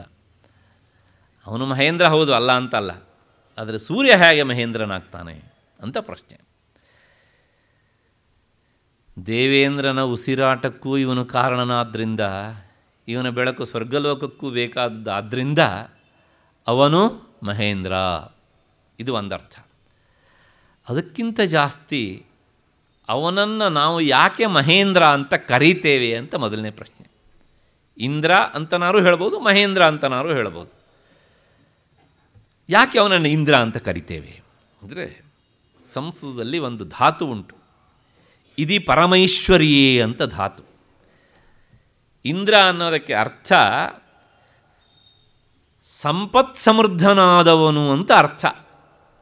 ಅವನ ಸಂಪತ್ತು ಯಾವುದು ಅಂದರೆ ಸ್ವರ್ಗದ ಸಂಪತ್ತೇನುಂಟಲ್ಲ ಅದಕ್ಕೆಲ್ಲ ಅವನ ಅಧಿಪತಿ. ಆದ್ದರಿಂದ ಆ ಸ್ವರ್ಗ ಸಂಪತ್ತಿಗೆ ಒಡೆಯನಾದ್ರಿಂದ ಅವನನ್ನು ಇಂದ್ರ ಅಂತ ಕರೀತಾರೆ. ಇಷ್ಟಕ್ಕೆ ನಿಂತರೆ ನಿಮಗೆ ನನಗಿಂತ ಹೆಚ್ಚು ವಿಷಯ ನೆನಪಿಗೆ ಬರ್ತದೆ. ಇಂದ್ರನ ಹತ್ತಿರ ಇರುವಂಥ ಸಂಪತ್ತು ನಿಜವಾಗಿ ಅವನು ಅಧೀನವಾಗಿಲ್ಲ. ಪದೇ ಪದೇ ಕಳ್ಕೊಳ್ತಾನೆ, ಹೋಗಿ ವಿಷ್ಣುವಿನ ಕಾಲು ಹಿಡಿತಾನೆ. ಬಲಿಚಕ್ರವರ್ತಿಯ ಕಥೆಯನ್ನು ಕೇಳಿದ್ರೆ ಗೊತ್ತಾಗತ್ತೆ. ಅವನು ಹೇಳ್ತಾನೆ, ಹೋಗು, ಕಾಲಿಗೆ ಬೀಳು ಈಗ ಅಂತ. ಇವನು ಇಂದ್ರನ, ನಿಜವಾಗಿ ಹೇಳಿ ನೋಡೋಣ. ಇವನು ನಿಜವಾಗಿ ಸಂಪತ್ತಿಗೆ ಒಡೆಯನ. ವಿಷ್ಣು ಸಂಪತ್ತನ್ನು ಕರುಣೆ ಮಾಡಿದರೆ ಆ ಸಂಪತ್ತನ್ನು ನೋಡ್ಕೊಳ್ಳುವಂಥ ಒಂದು ರೀತಿ ಬ್ಯಾಂಕ್ ಮ್ಯಾನೇಜರ್ ಇದ್ದ ಹಾಗೆ ಅವನು. ಯಾಕೆ ಈ ಶಬ್ದ ಹೇಳಿದೆ ಅಂದರೆ, ಬ್ಯಾಂಕ್ ಮ್ಯಾನೇಜರ್ ಕೈಯಲ್ಲಿ ತುಂಬ ದುಡ್ಡು ಓಡಾಡ್ತಾ ಇರುತ್ತೆ. ಆದರೆ ಆ ಓಡಾಡುವ ದುಡ್ಡಿನ ಒಡೆತನ ಅವನದ್ದಲ್ಲ. ಬೆಳಗಿಂದ ಮಧ್ಯಾಹ್ನದವರಿಗೆ ಎಷ್ಟೋ ಲಕ್ಷ ಎಣಿಸಿರ್ತಾನೆ. ಎಣಿಸೋಕ್ಕಾಗಲ್ಲ ಅಂತ ಹೇಳ್ಬಿಟ್ಟು ಕೌಂಟಿಂಗ್ ಮಷಿನ್ನಿಗೆ ಹಾಕಿಬಿಟ್ಟು ಎಣಿಸ್ತಾನೆ. ಇಷ್ಟೆಲ್ಲ ದುಡ್ಡಿದೆ ಅಂದ ಮಾತ್ರಕ್ಕೆ ಮ್ಯಾನೇಜರ್ರೇ ನೀವು ತುಂಬ ಶ್ರೀಮಂತರ್ರಿ. ಅಂತ ಹೇಳ್ಬೋದ ನಾವು? ನಾವು ಹೇಳಿದರೆ ಆತ ಒಪ್ಕೊಳ್ಳಿಕ್ಕೆ ಸಾಧ್ಯನಾ? ಹಾಗಿದ್ರೆ ದುಡ್ಡು ಓಡಾಡುತ್ತೆ ನಿಜ, ಆದರೆ ಒಡೆತನ ಅವನ ಹತ್ರ ಓಡಾಡೋಲ್ಲ. ಅಲ್ಲಿ ಏನು ಹೇಳ್ದಂಗಾಯಿತು? ದುಡ್ಡಿದ್ದವರೆಲ್ಲರೂ ಸಹ ಐಶ್ವರ್ಯವಂತರಲ್ಲ. ಹಾಗೇನೆ ಇಂದ್ರನ ಹತ್ರ ಸಂಪತ್ತುಂಟು, ಆದರೆ ನಿಜವಾದ ಅರ್ಥದಲ್ಲಿ ಅವನು ಇಂದ್ರನಲ್ಲ. ಹಾಗಿದ್ರೆ ನಿಜವಾದ ಇಂದ್ರ ಯಾರು? ಮಹೇಂದ್ರ ಯಾರು ಅಂದರೆ ಸೂರ್ಯನೇ. ಯಾಕೆಂದರೆ ಇವನಲ್ಲಿ ಒಂದು ಕರಗದ ಸಂಪತ್ತುಂಟು. ಯಾವುದು ಅವನ ಸಂಪತ್ತು ಅಂದರೆ ಅದೇ ಬೆಳಕು. ಬೆಳಕು ಒಂದು ಸಂಪತ್ತಲ್ವ? ಮಹಾಸಂಪತ್ತು ಅದು. ಇಡೀ ಅಧ್ಯಾತ್ಮ ಶಾಸ್ತ್ರ ಹೊರಟಿದ್ದೇ ಆ ಬೆಳಕನ್ನು ಅರಿಯುವುದಕ್ಕೆ ಅಂತ. ಅದಕ್ಕಿಂತ ದೊಡ್ಡ ಸಂಪತ್ತು ಇನ್ನೇನ್ರಿ ಬೇಕು? ಆ ಸಂಪತ್ತು ಸಿಕ್ಕಿತು ಅಂದರೆ ಎಲ್ಲ ಸಂಪತ್ತು ಅದರ ಮುಂದೆ ನಗಣ್ಯ. ಹಾಗಾಗಿ ಆ ಮಹಾಸಂಪತ್ತು ಉಳ್ಳವನಾದ್ದರಿಂದ ಇವನೇ ನಿಜವಾದ ಅರ್ಥದಲ್ಲಿ ಮಹೇಂದ್ರ. ನೀವು ಕೋಟಿ ಕೋಟಿ ಖರ್ಚು ಮಾಡಿ ಮನೆ ಕಟ್ಟಿಸ್ತೀರಿ. ಸಾಧ್ಯ ಆದರೆ ನೆಲಕ್ಕೆ ಬಂಗಾರದ ಪಾಲಿಷನ್ನು ಹಾಕಿಸ್ತೀರಿ. ಹಾಕಿಸಿ, ಸಂತೋಷ. ಇದೆಲ್ಲ ನೀವು ಖರ್ಚು ಮಾಡಿ ಸಂಪತ್ತನ್ನು ಸುರಿದಿದ್ದು. ಆದರೆ ಒಂದು ಕೆಲಸ ಮಾಡಿ, ಹಾಗೆ ಕಟ್ಟಿಸುವ ಮನೆಗೆ ಎಲ್ಲೂ ಕಿಡಿಕೆ ಇಡಬೇಡಿ.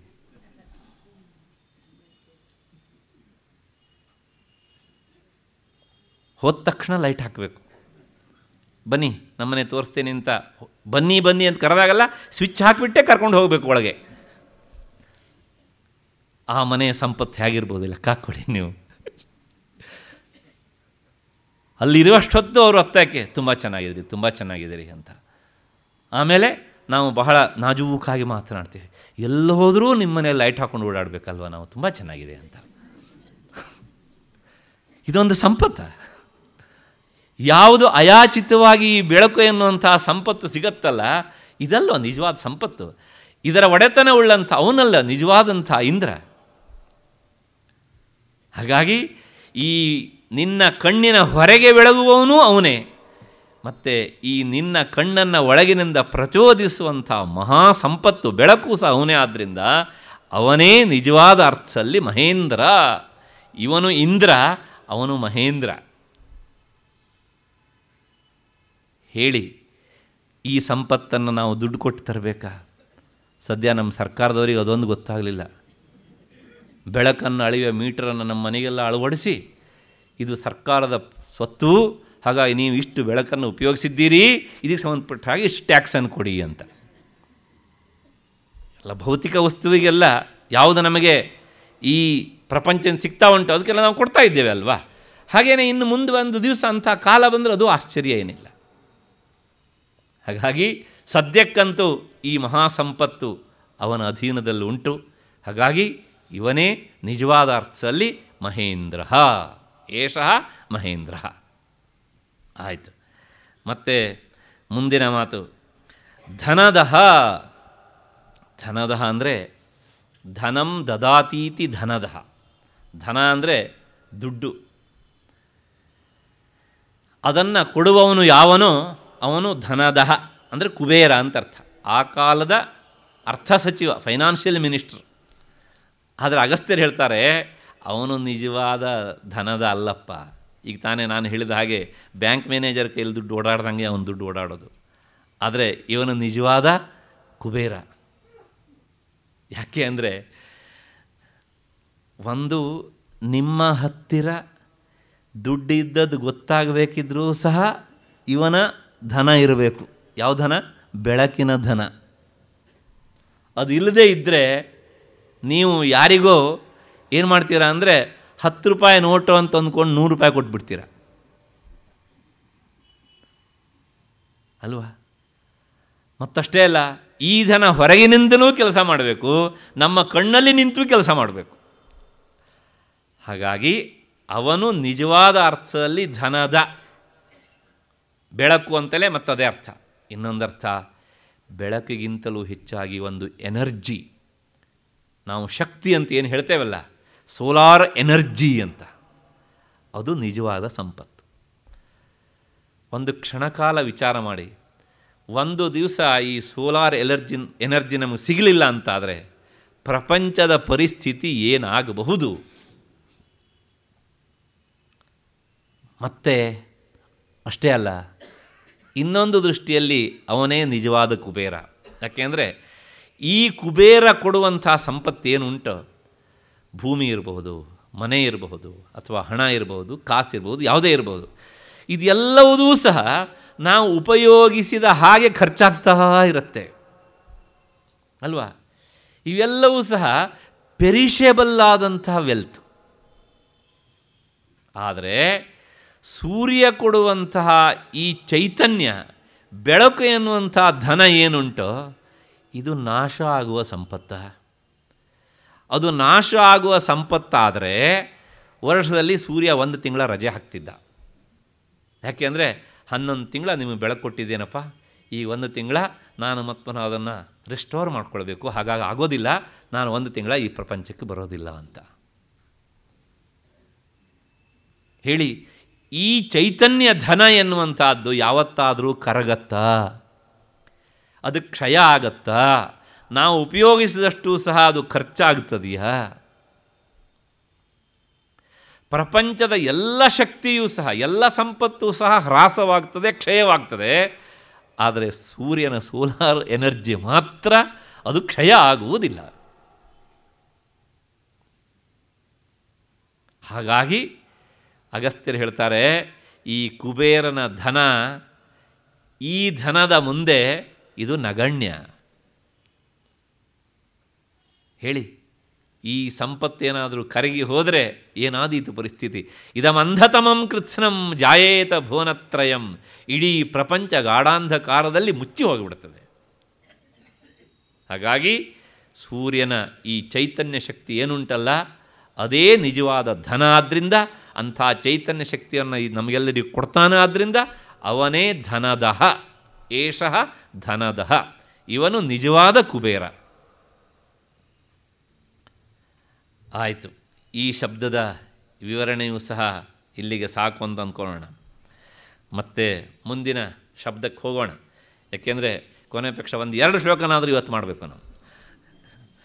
ಹಾಗಾಗಿ ಇಷ್ಟಿಷ್ಟೇ ವಿವರಣೆ ಸಾಕು ಅಂತ ಅಂದ್ಕೊಂಡು ಹೋಗೋಣ ಮುಂದೆ. ಮುಂದಿನ ಶಬ್ದ ಕಾಲಹ ಅಂತ. ಕಾಲಹ ಅಂದರೆ ಕಾಲ ಅಂದರೆ ಏನು ಅಂದರೆ ಸಮಯ ಅಂತ ಹೇಳ್ತೇವೆ. ಸಮಯ ಅಂದರೆ ಏನು ಅಂದರೆ ತಕ್ಷಣ ಹೇಳ್ತೇವೆ. ಟೈಮ್ ಅಂತ. ಮತ್ತು ಟೈಮ್ ಅಂದರೆ ಏನು ಅಂತ ಕೇಳಿದರೆ ಮತ್ತೆ ಪುನಃ ಹೇಳೋದು ಕಷ್ಟ. ಆದರೆ ಕಾಲಹ ಅಂದರೆ ಏನು? ಸಂಸ್ಕೃತದಲ್ಲಿ ಈ ಶಬ್ದದ ವಿವರಣೆ ಬಹಳ ಸುಂದರವಾಗಿ ಉಂಟು. ಕಾಲಹ ಅಂದರೆ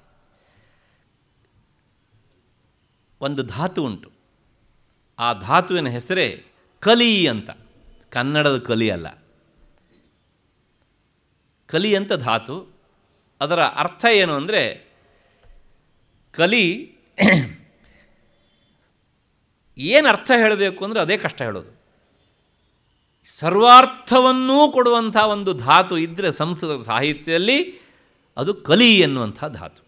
ಹಾಗಾಗಿ ಆ ಧಾತುವಿಗೆ ಹೆಸರೇನು ಕೇಳಿದರೆ, ಕಲಿಹಿ ಕಾಮಧೇನು ಅಂತ. ಅಂದರೆ ಈ ಕಲಿ ಎನ್ನುವಂಥ ಧಾತು ಏನುಂಟೋ ಅದು ಕಾಮಧೇನು ಇದ್ದ ಹಾಗೆ ಅಂತ.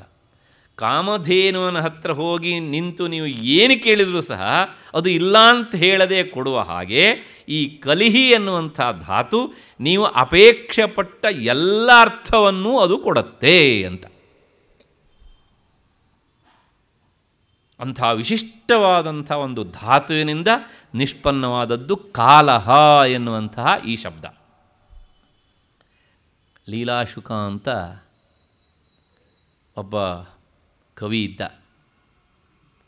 ಆತ ಈ ಕಲಿಹ್ ಕಾಮಧೇನು ಎನ್ನುವಂಥ ಈ ಧಾತುವಿನ ರೂಪವನ್ನು ಇಟ್ಕೊಂಡು ಒಂದು ಪ್ರಸಿದ್ಧವಾದ ಶ್ಲೋಕವನ್ನು ರಚನೆ ಮಾಡಿದ್ದಾನೆ. ನಿಮಗೆಲ್ಲರಿಗೂ ಗೊತ್ತು ಅದು.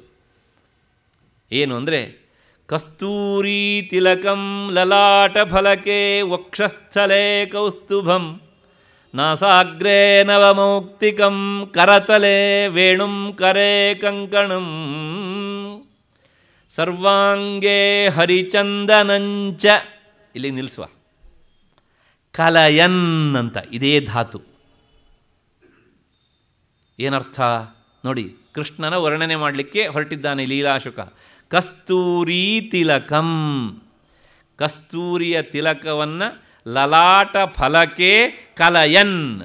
ತನ್ನ ಹಣೆಯಲ್ಲಿ ಆತ ಇರಿಸಿಕೊಂಡಿದ್ದಾನೆ ಅಂತ. ಆ ಕಲಯನ್ ಎನ್ನುವಂಥದ್ದು ಇರಿಸಿಕೊಂಡಿದ್ದಾನೆ ಅನ್ನೋ ಅರ್ಥವನ್ನು ಕೊಡುತ್ತೆ. ಮತ್ತು ವಕ್ಷಸ್ಥಲೇ ಕೌಸ್ತುಭಂ. ತನ್ನ ವಕ್ಷಸ್ಥಲದಲ್ಲಿ ಕೌಸ್ತುಭ ಮಣಿಯನ್ನು ಕಟ್ಟಿಕೊಂಡಿದ್ದಾನೆ ಅಂತ. ಇರಿಸಿಕೊಂಡಿದ್ದಾನೆ ಮತ್ತು ಕಟ್ಟಿಕೊಂಡಿದ್ದಾನೆ. ನಾಸಾಗ್ರೇ ನವಮೌಕ್ತಿಕಂ. ಮೂಗಿನ ತುದಿಯಲ್ಲಿ ಆ ನವಮೌಕ್ತಿಕವನ್ನು ಧರಿಸಿದ್ದಾನೆ ಅಂತ. ಕಲಯನ್ ಎಲ್ಲದಕ್ಕೂ ಒಂದೇ. ಕಂಠೇ ಚ ಮುಕ್ತಾವಲಿಂ. ತನ್ನ ಕತ್ತಿನಲ್ಲಿ ಹಾರವನ್ನು ಆತ ಹಾಕಿಕೊಂಡಿದ್ದಾನೆ. ಕಲಯನ್ ಮತ್ತನ. ಮತ್ತೆ ಗೋಪಸ್ತ್ರೀ ಪರಿವೇಷ್ಟಿತೋ ವಿಜಯತೆ ಗೋಪಾಲ ಚೂಡಾಮಣೆ.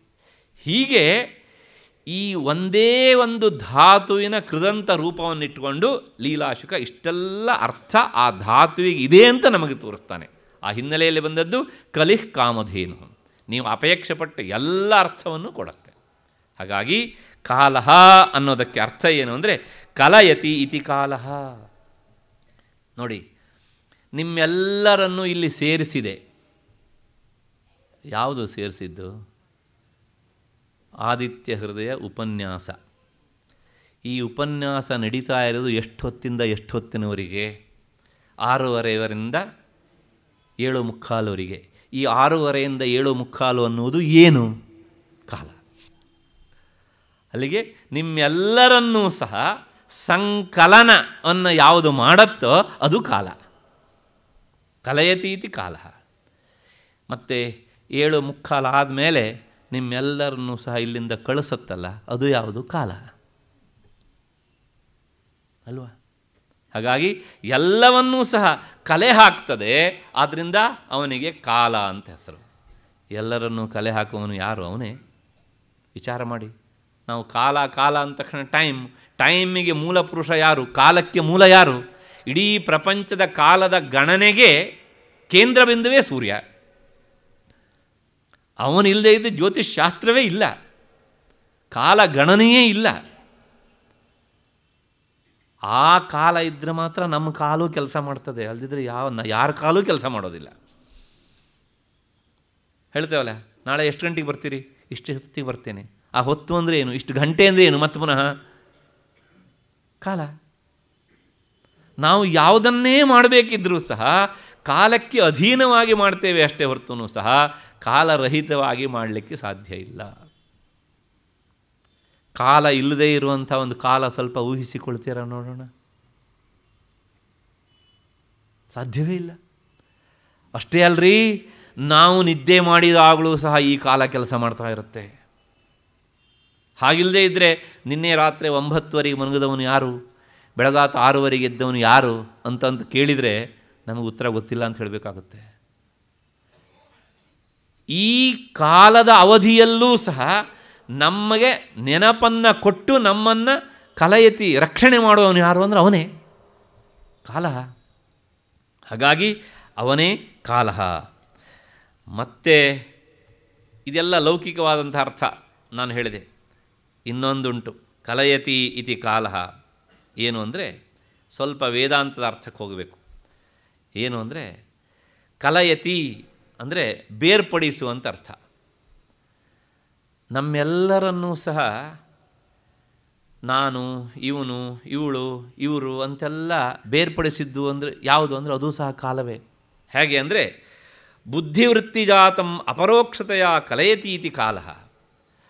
ನಮ್ಮ ಕಣ್ಣಿಗೆ ಯಾವುದು ಕಾಣಿಸತ್ತೋ ಅದು ಎಲ್ಲವನ್ನೂ ಸಹ ಪ್ರತ್ಯಕ್ಷವಾಗಿಸಿ ಈ ಕಾಲದಲ್ಲಿ ನಾನು ಇದನ್ನು ನೋಡಿದ್ದೆ ಎನ್ನುವಂಥ ನೆನಪನ್ನೂ ಕೊಟ್ಟು, ಈ ಕಾಲದಲ್ಲಿ ನೋಡಿದ್ದೆ ಎನ್ನುವಂಥ ಅರಿವನ್ನೂ ಕೊಟ್ಟು, ಆ ಕಾಲದ ಜೊತೆಗೆ ಪ್ರತಿಯೊಂದು ವಸ್ತುವನ್ನು ವಿಭಾಗಿಸುವವನು ಯಾವನೋ ಅವನು ಕಾಲ.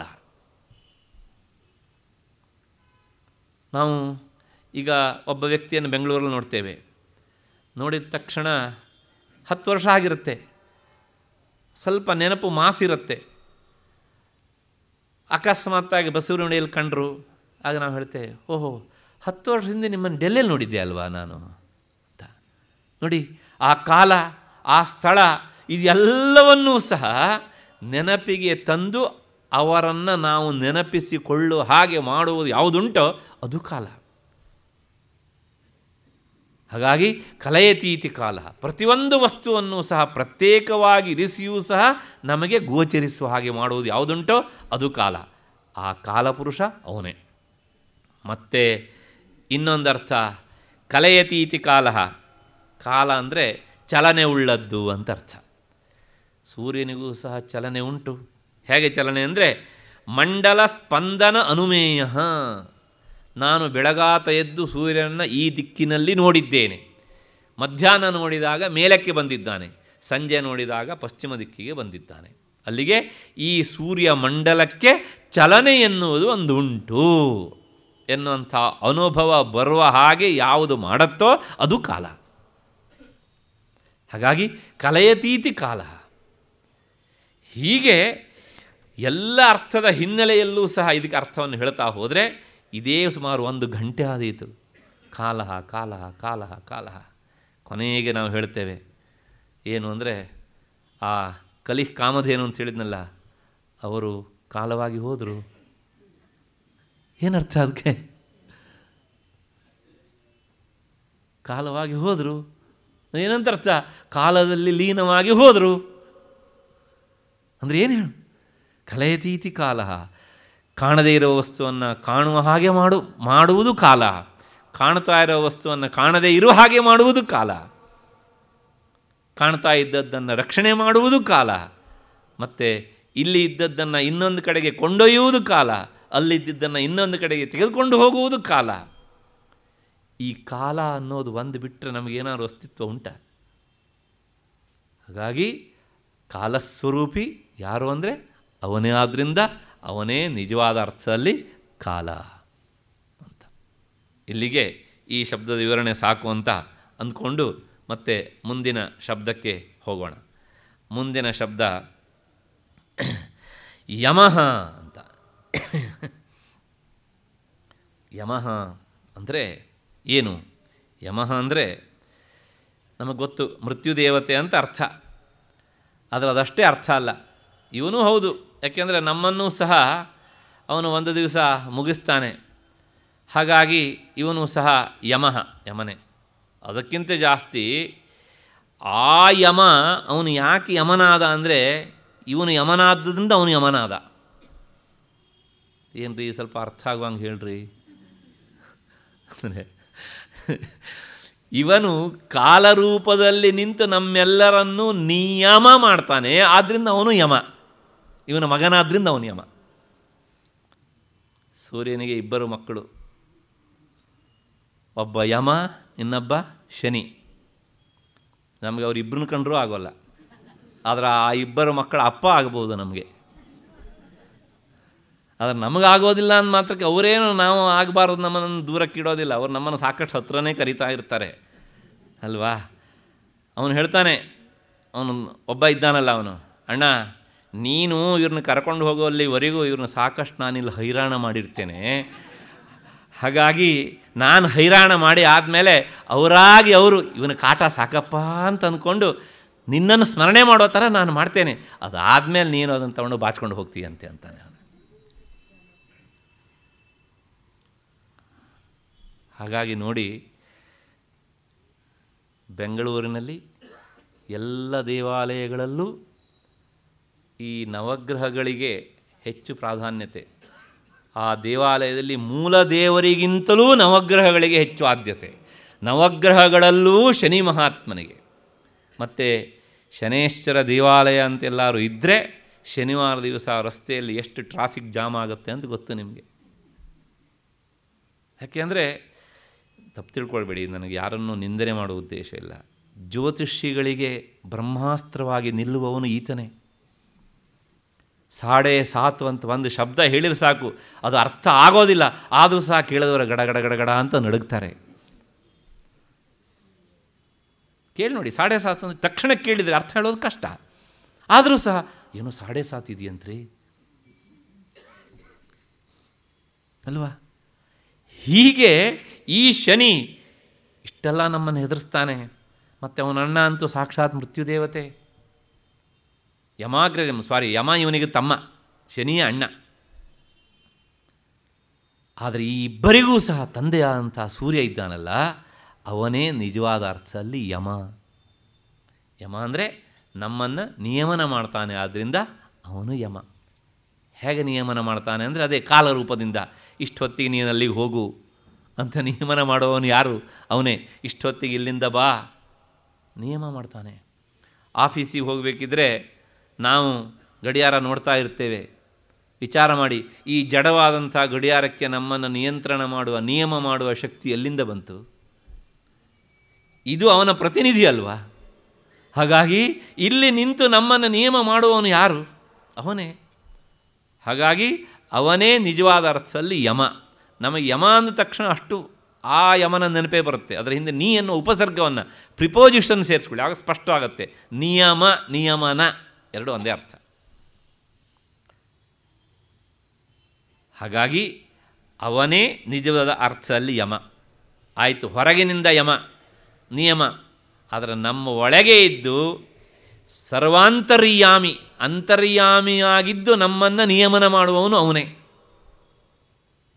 ಯಾಕೆಂದರೆ ನಮ್ಮೊಳಗಿದ್ದು ನಮ್ಮ ಬುದ್ಧಿಯನ್ನು ಪ್ರಚೋದನೆ ಮಾಡಿ, ಇದನ್ನು ಮಾಡು, ಇದನ್ನು ಮಾಡಬೇಡ ಅಂತ ನಮ್ಮನ್ನು ನಿಯಮನ ಮಾಡುವವನು ಅವನೇ. ಹಾಗಾಗಿ ಅವನೇ ನಿಜವಾದ ಅರ್ಥದಲ್ಲಿ ಯಮಃ. ಯಮಯತೀತಿ ಯಮಃ. ನಿಯಂತ್ರಯತೀತಿ ಯಮಃ. ನಮ್ಮನ್ನು ನಿಗ್ರಹ ಮಾಡ್ತಾನೆ. ಆದ್ದರಿಂದ ಅವನು ಯಮ ಯಮ ಯಮ ಅಂತ. ನಮ್ಮ ಯೋಗಶಾಸ್ತ್ರ ಹೊರಟಿದ್ದೇ ಇದಕ್ಕೋಸ್ಕರ. ಯಮ, ನಿಯಮ, ಆಸನ, ಪ್ರಾಣಾಯಾಮ, ಪ್ರತ್ಯಾಹಾರ, ಧ್ಯಾನ, ಧಾರಣ ಈ ಎಲ್ಲ ಅಷ್ಟಾಂಗ ಯೋಗ ವಿಜ್ಞಾನ ಅಂತ ನಾವು ಕೇಳ್ತೇವಲ್ಲ. ಯಾಕೆಂದರೆ ಕೆಲವು ವಿಷಯದಲ್ಲಿ ನಮ್ಮನ್ನು ನಾವು ಯಮ ಮಾಡ್ಕೊಳ್ಳದೆ ಇದ್ದರೆ ಏನೂ ಪ್ರಯೋಜನ ಇಲ್ಲ. ಯಾವ್ಯಾವುದು ಅಂದರೆ ಅಹಿಂಸಾ ಸತ್ಯಮಸ್ತೇಯಂ ಅಪರಿಗ್ರಹ. ಎಲ್ಲ ವಿಷಯಗಳಲ್ಲೂ ಸಹ ನಮಗೇನಿರಬೇಕು ಅಂದರೆ ಯಮ ಇರಬೇಕು ಅಂದರೆ ನಿಯಮ ಇರಬೇಕು ಅಂತ ಅರ್ಥ. ಈ ಎಲ್ಲದಕ್ಕೂ ಸಹ ಮೂಲ ಕಾರಣ ಅವನಾದ್ದರಿಂದ ಅವನು ಯಮಃ.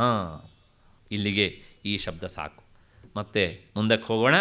ಮುಂದಿನ ಶಬ್ದ ಸೋಮಃ. ಸೋಮ ಅಂದರೆ ಪ್ರಸಿದ್ಧವಾದ ಅರ್ಥ ಚಂದ್ರ ಅಂತ. ಅಲ್ರಿ? ಚಂದ್ರ ಸೂರ್ಯ ಆಗೋದು ಹೇಗ್ರಿ? ಅಲ್ವಾ? ಒಂದು ತಮಾಸೆ ವಿಷಯ ಹೇಳ್ತೇನೆ. ಒಂದು ಕಡೆ ಒಂದು ಸಂದರ್ಶನ ನಡೆದಿತ್ತು. ಆ ಸಂದರ್ಶನಕ್ಕೆ ಬಂದಂಥ ಅಭ್ಯರ್ಥಿಗಳ ಹತ್ರ ಆ ಸಂದರ್ಶಕರು ಒಂದು ಪ್ರಶ್ನೆ ಕೇಳಿದರು. ಕನ್ನಡ ಅಧ್ಯಾಪಕರಾಗಿ ಬರುವವರು ಅವರು. ರವಿ ಅನ್ನೋದಕ್ಕೆ ಅರ್ಥ ಏನಪ್ಪ ಅಂತ ಕೇಳಿದ್ದಾರೆ. ತಕ್ಷಣ ಈ ಅಭ್ಯರ್ಥಿ ಹೇಳಿದ್ದಾನೆ, ರವಿ ಅಂದರೆ ಚಂದ್ರ ಅಂತ. ಗೊತ್ತಾಯ್ತಲ್ಲ? ಎಲ್ಲಿನ ಪ್ರಭಾವ ಇದು ಅಂತ. ರವಿಚಂದ್ರ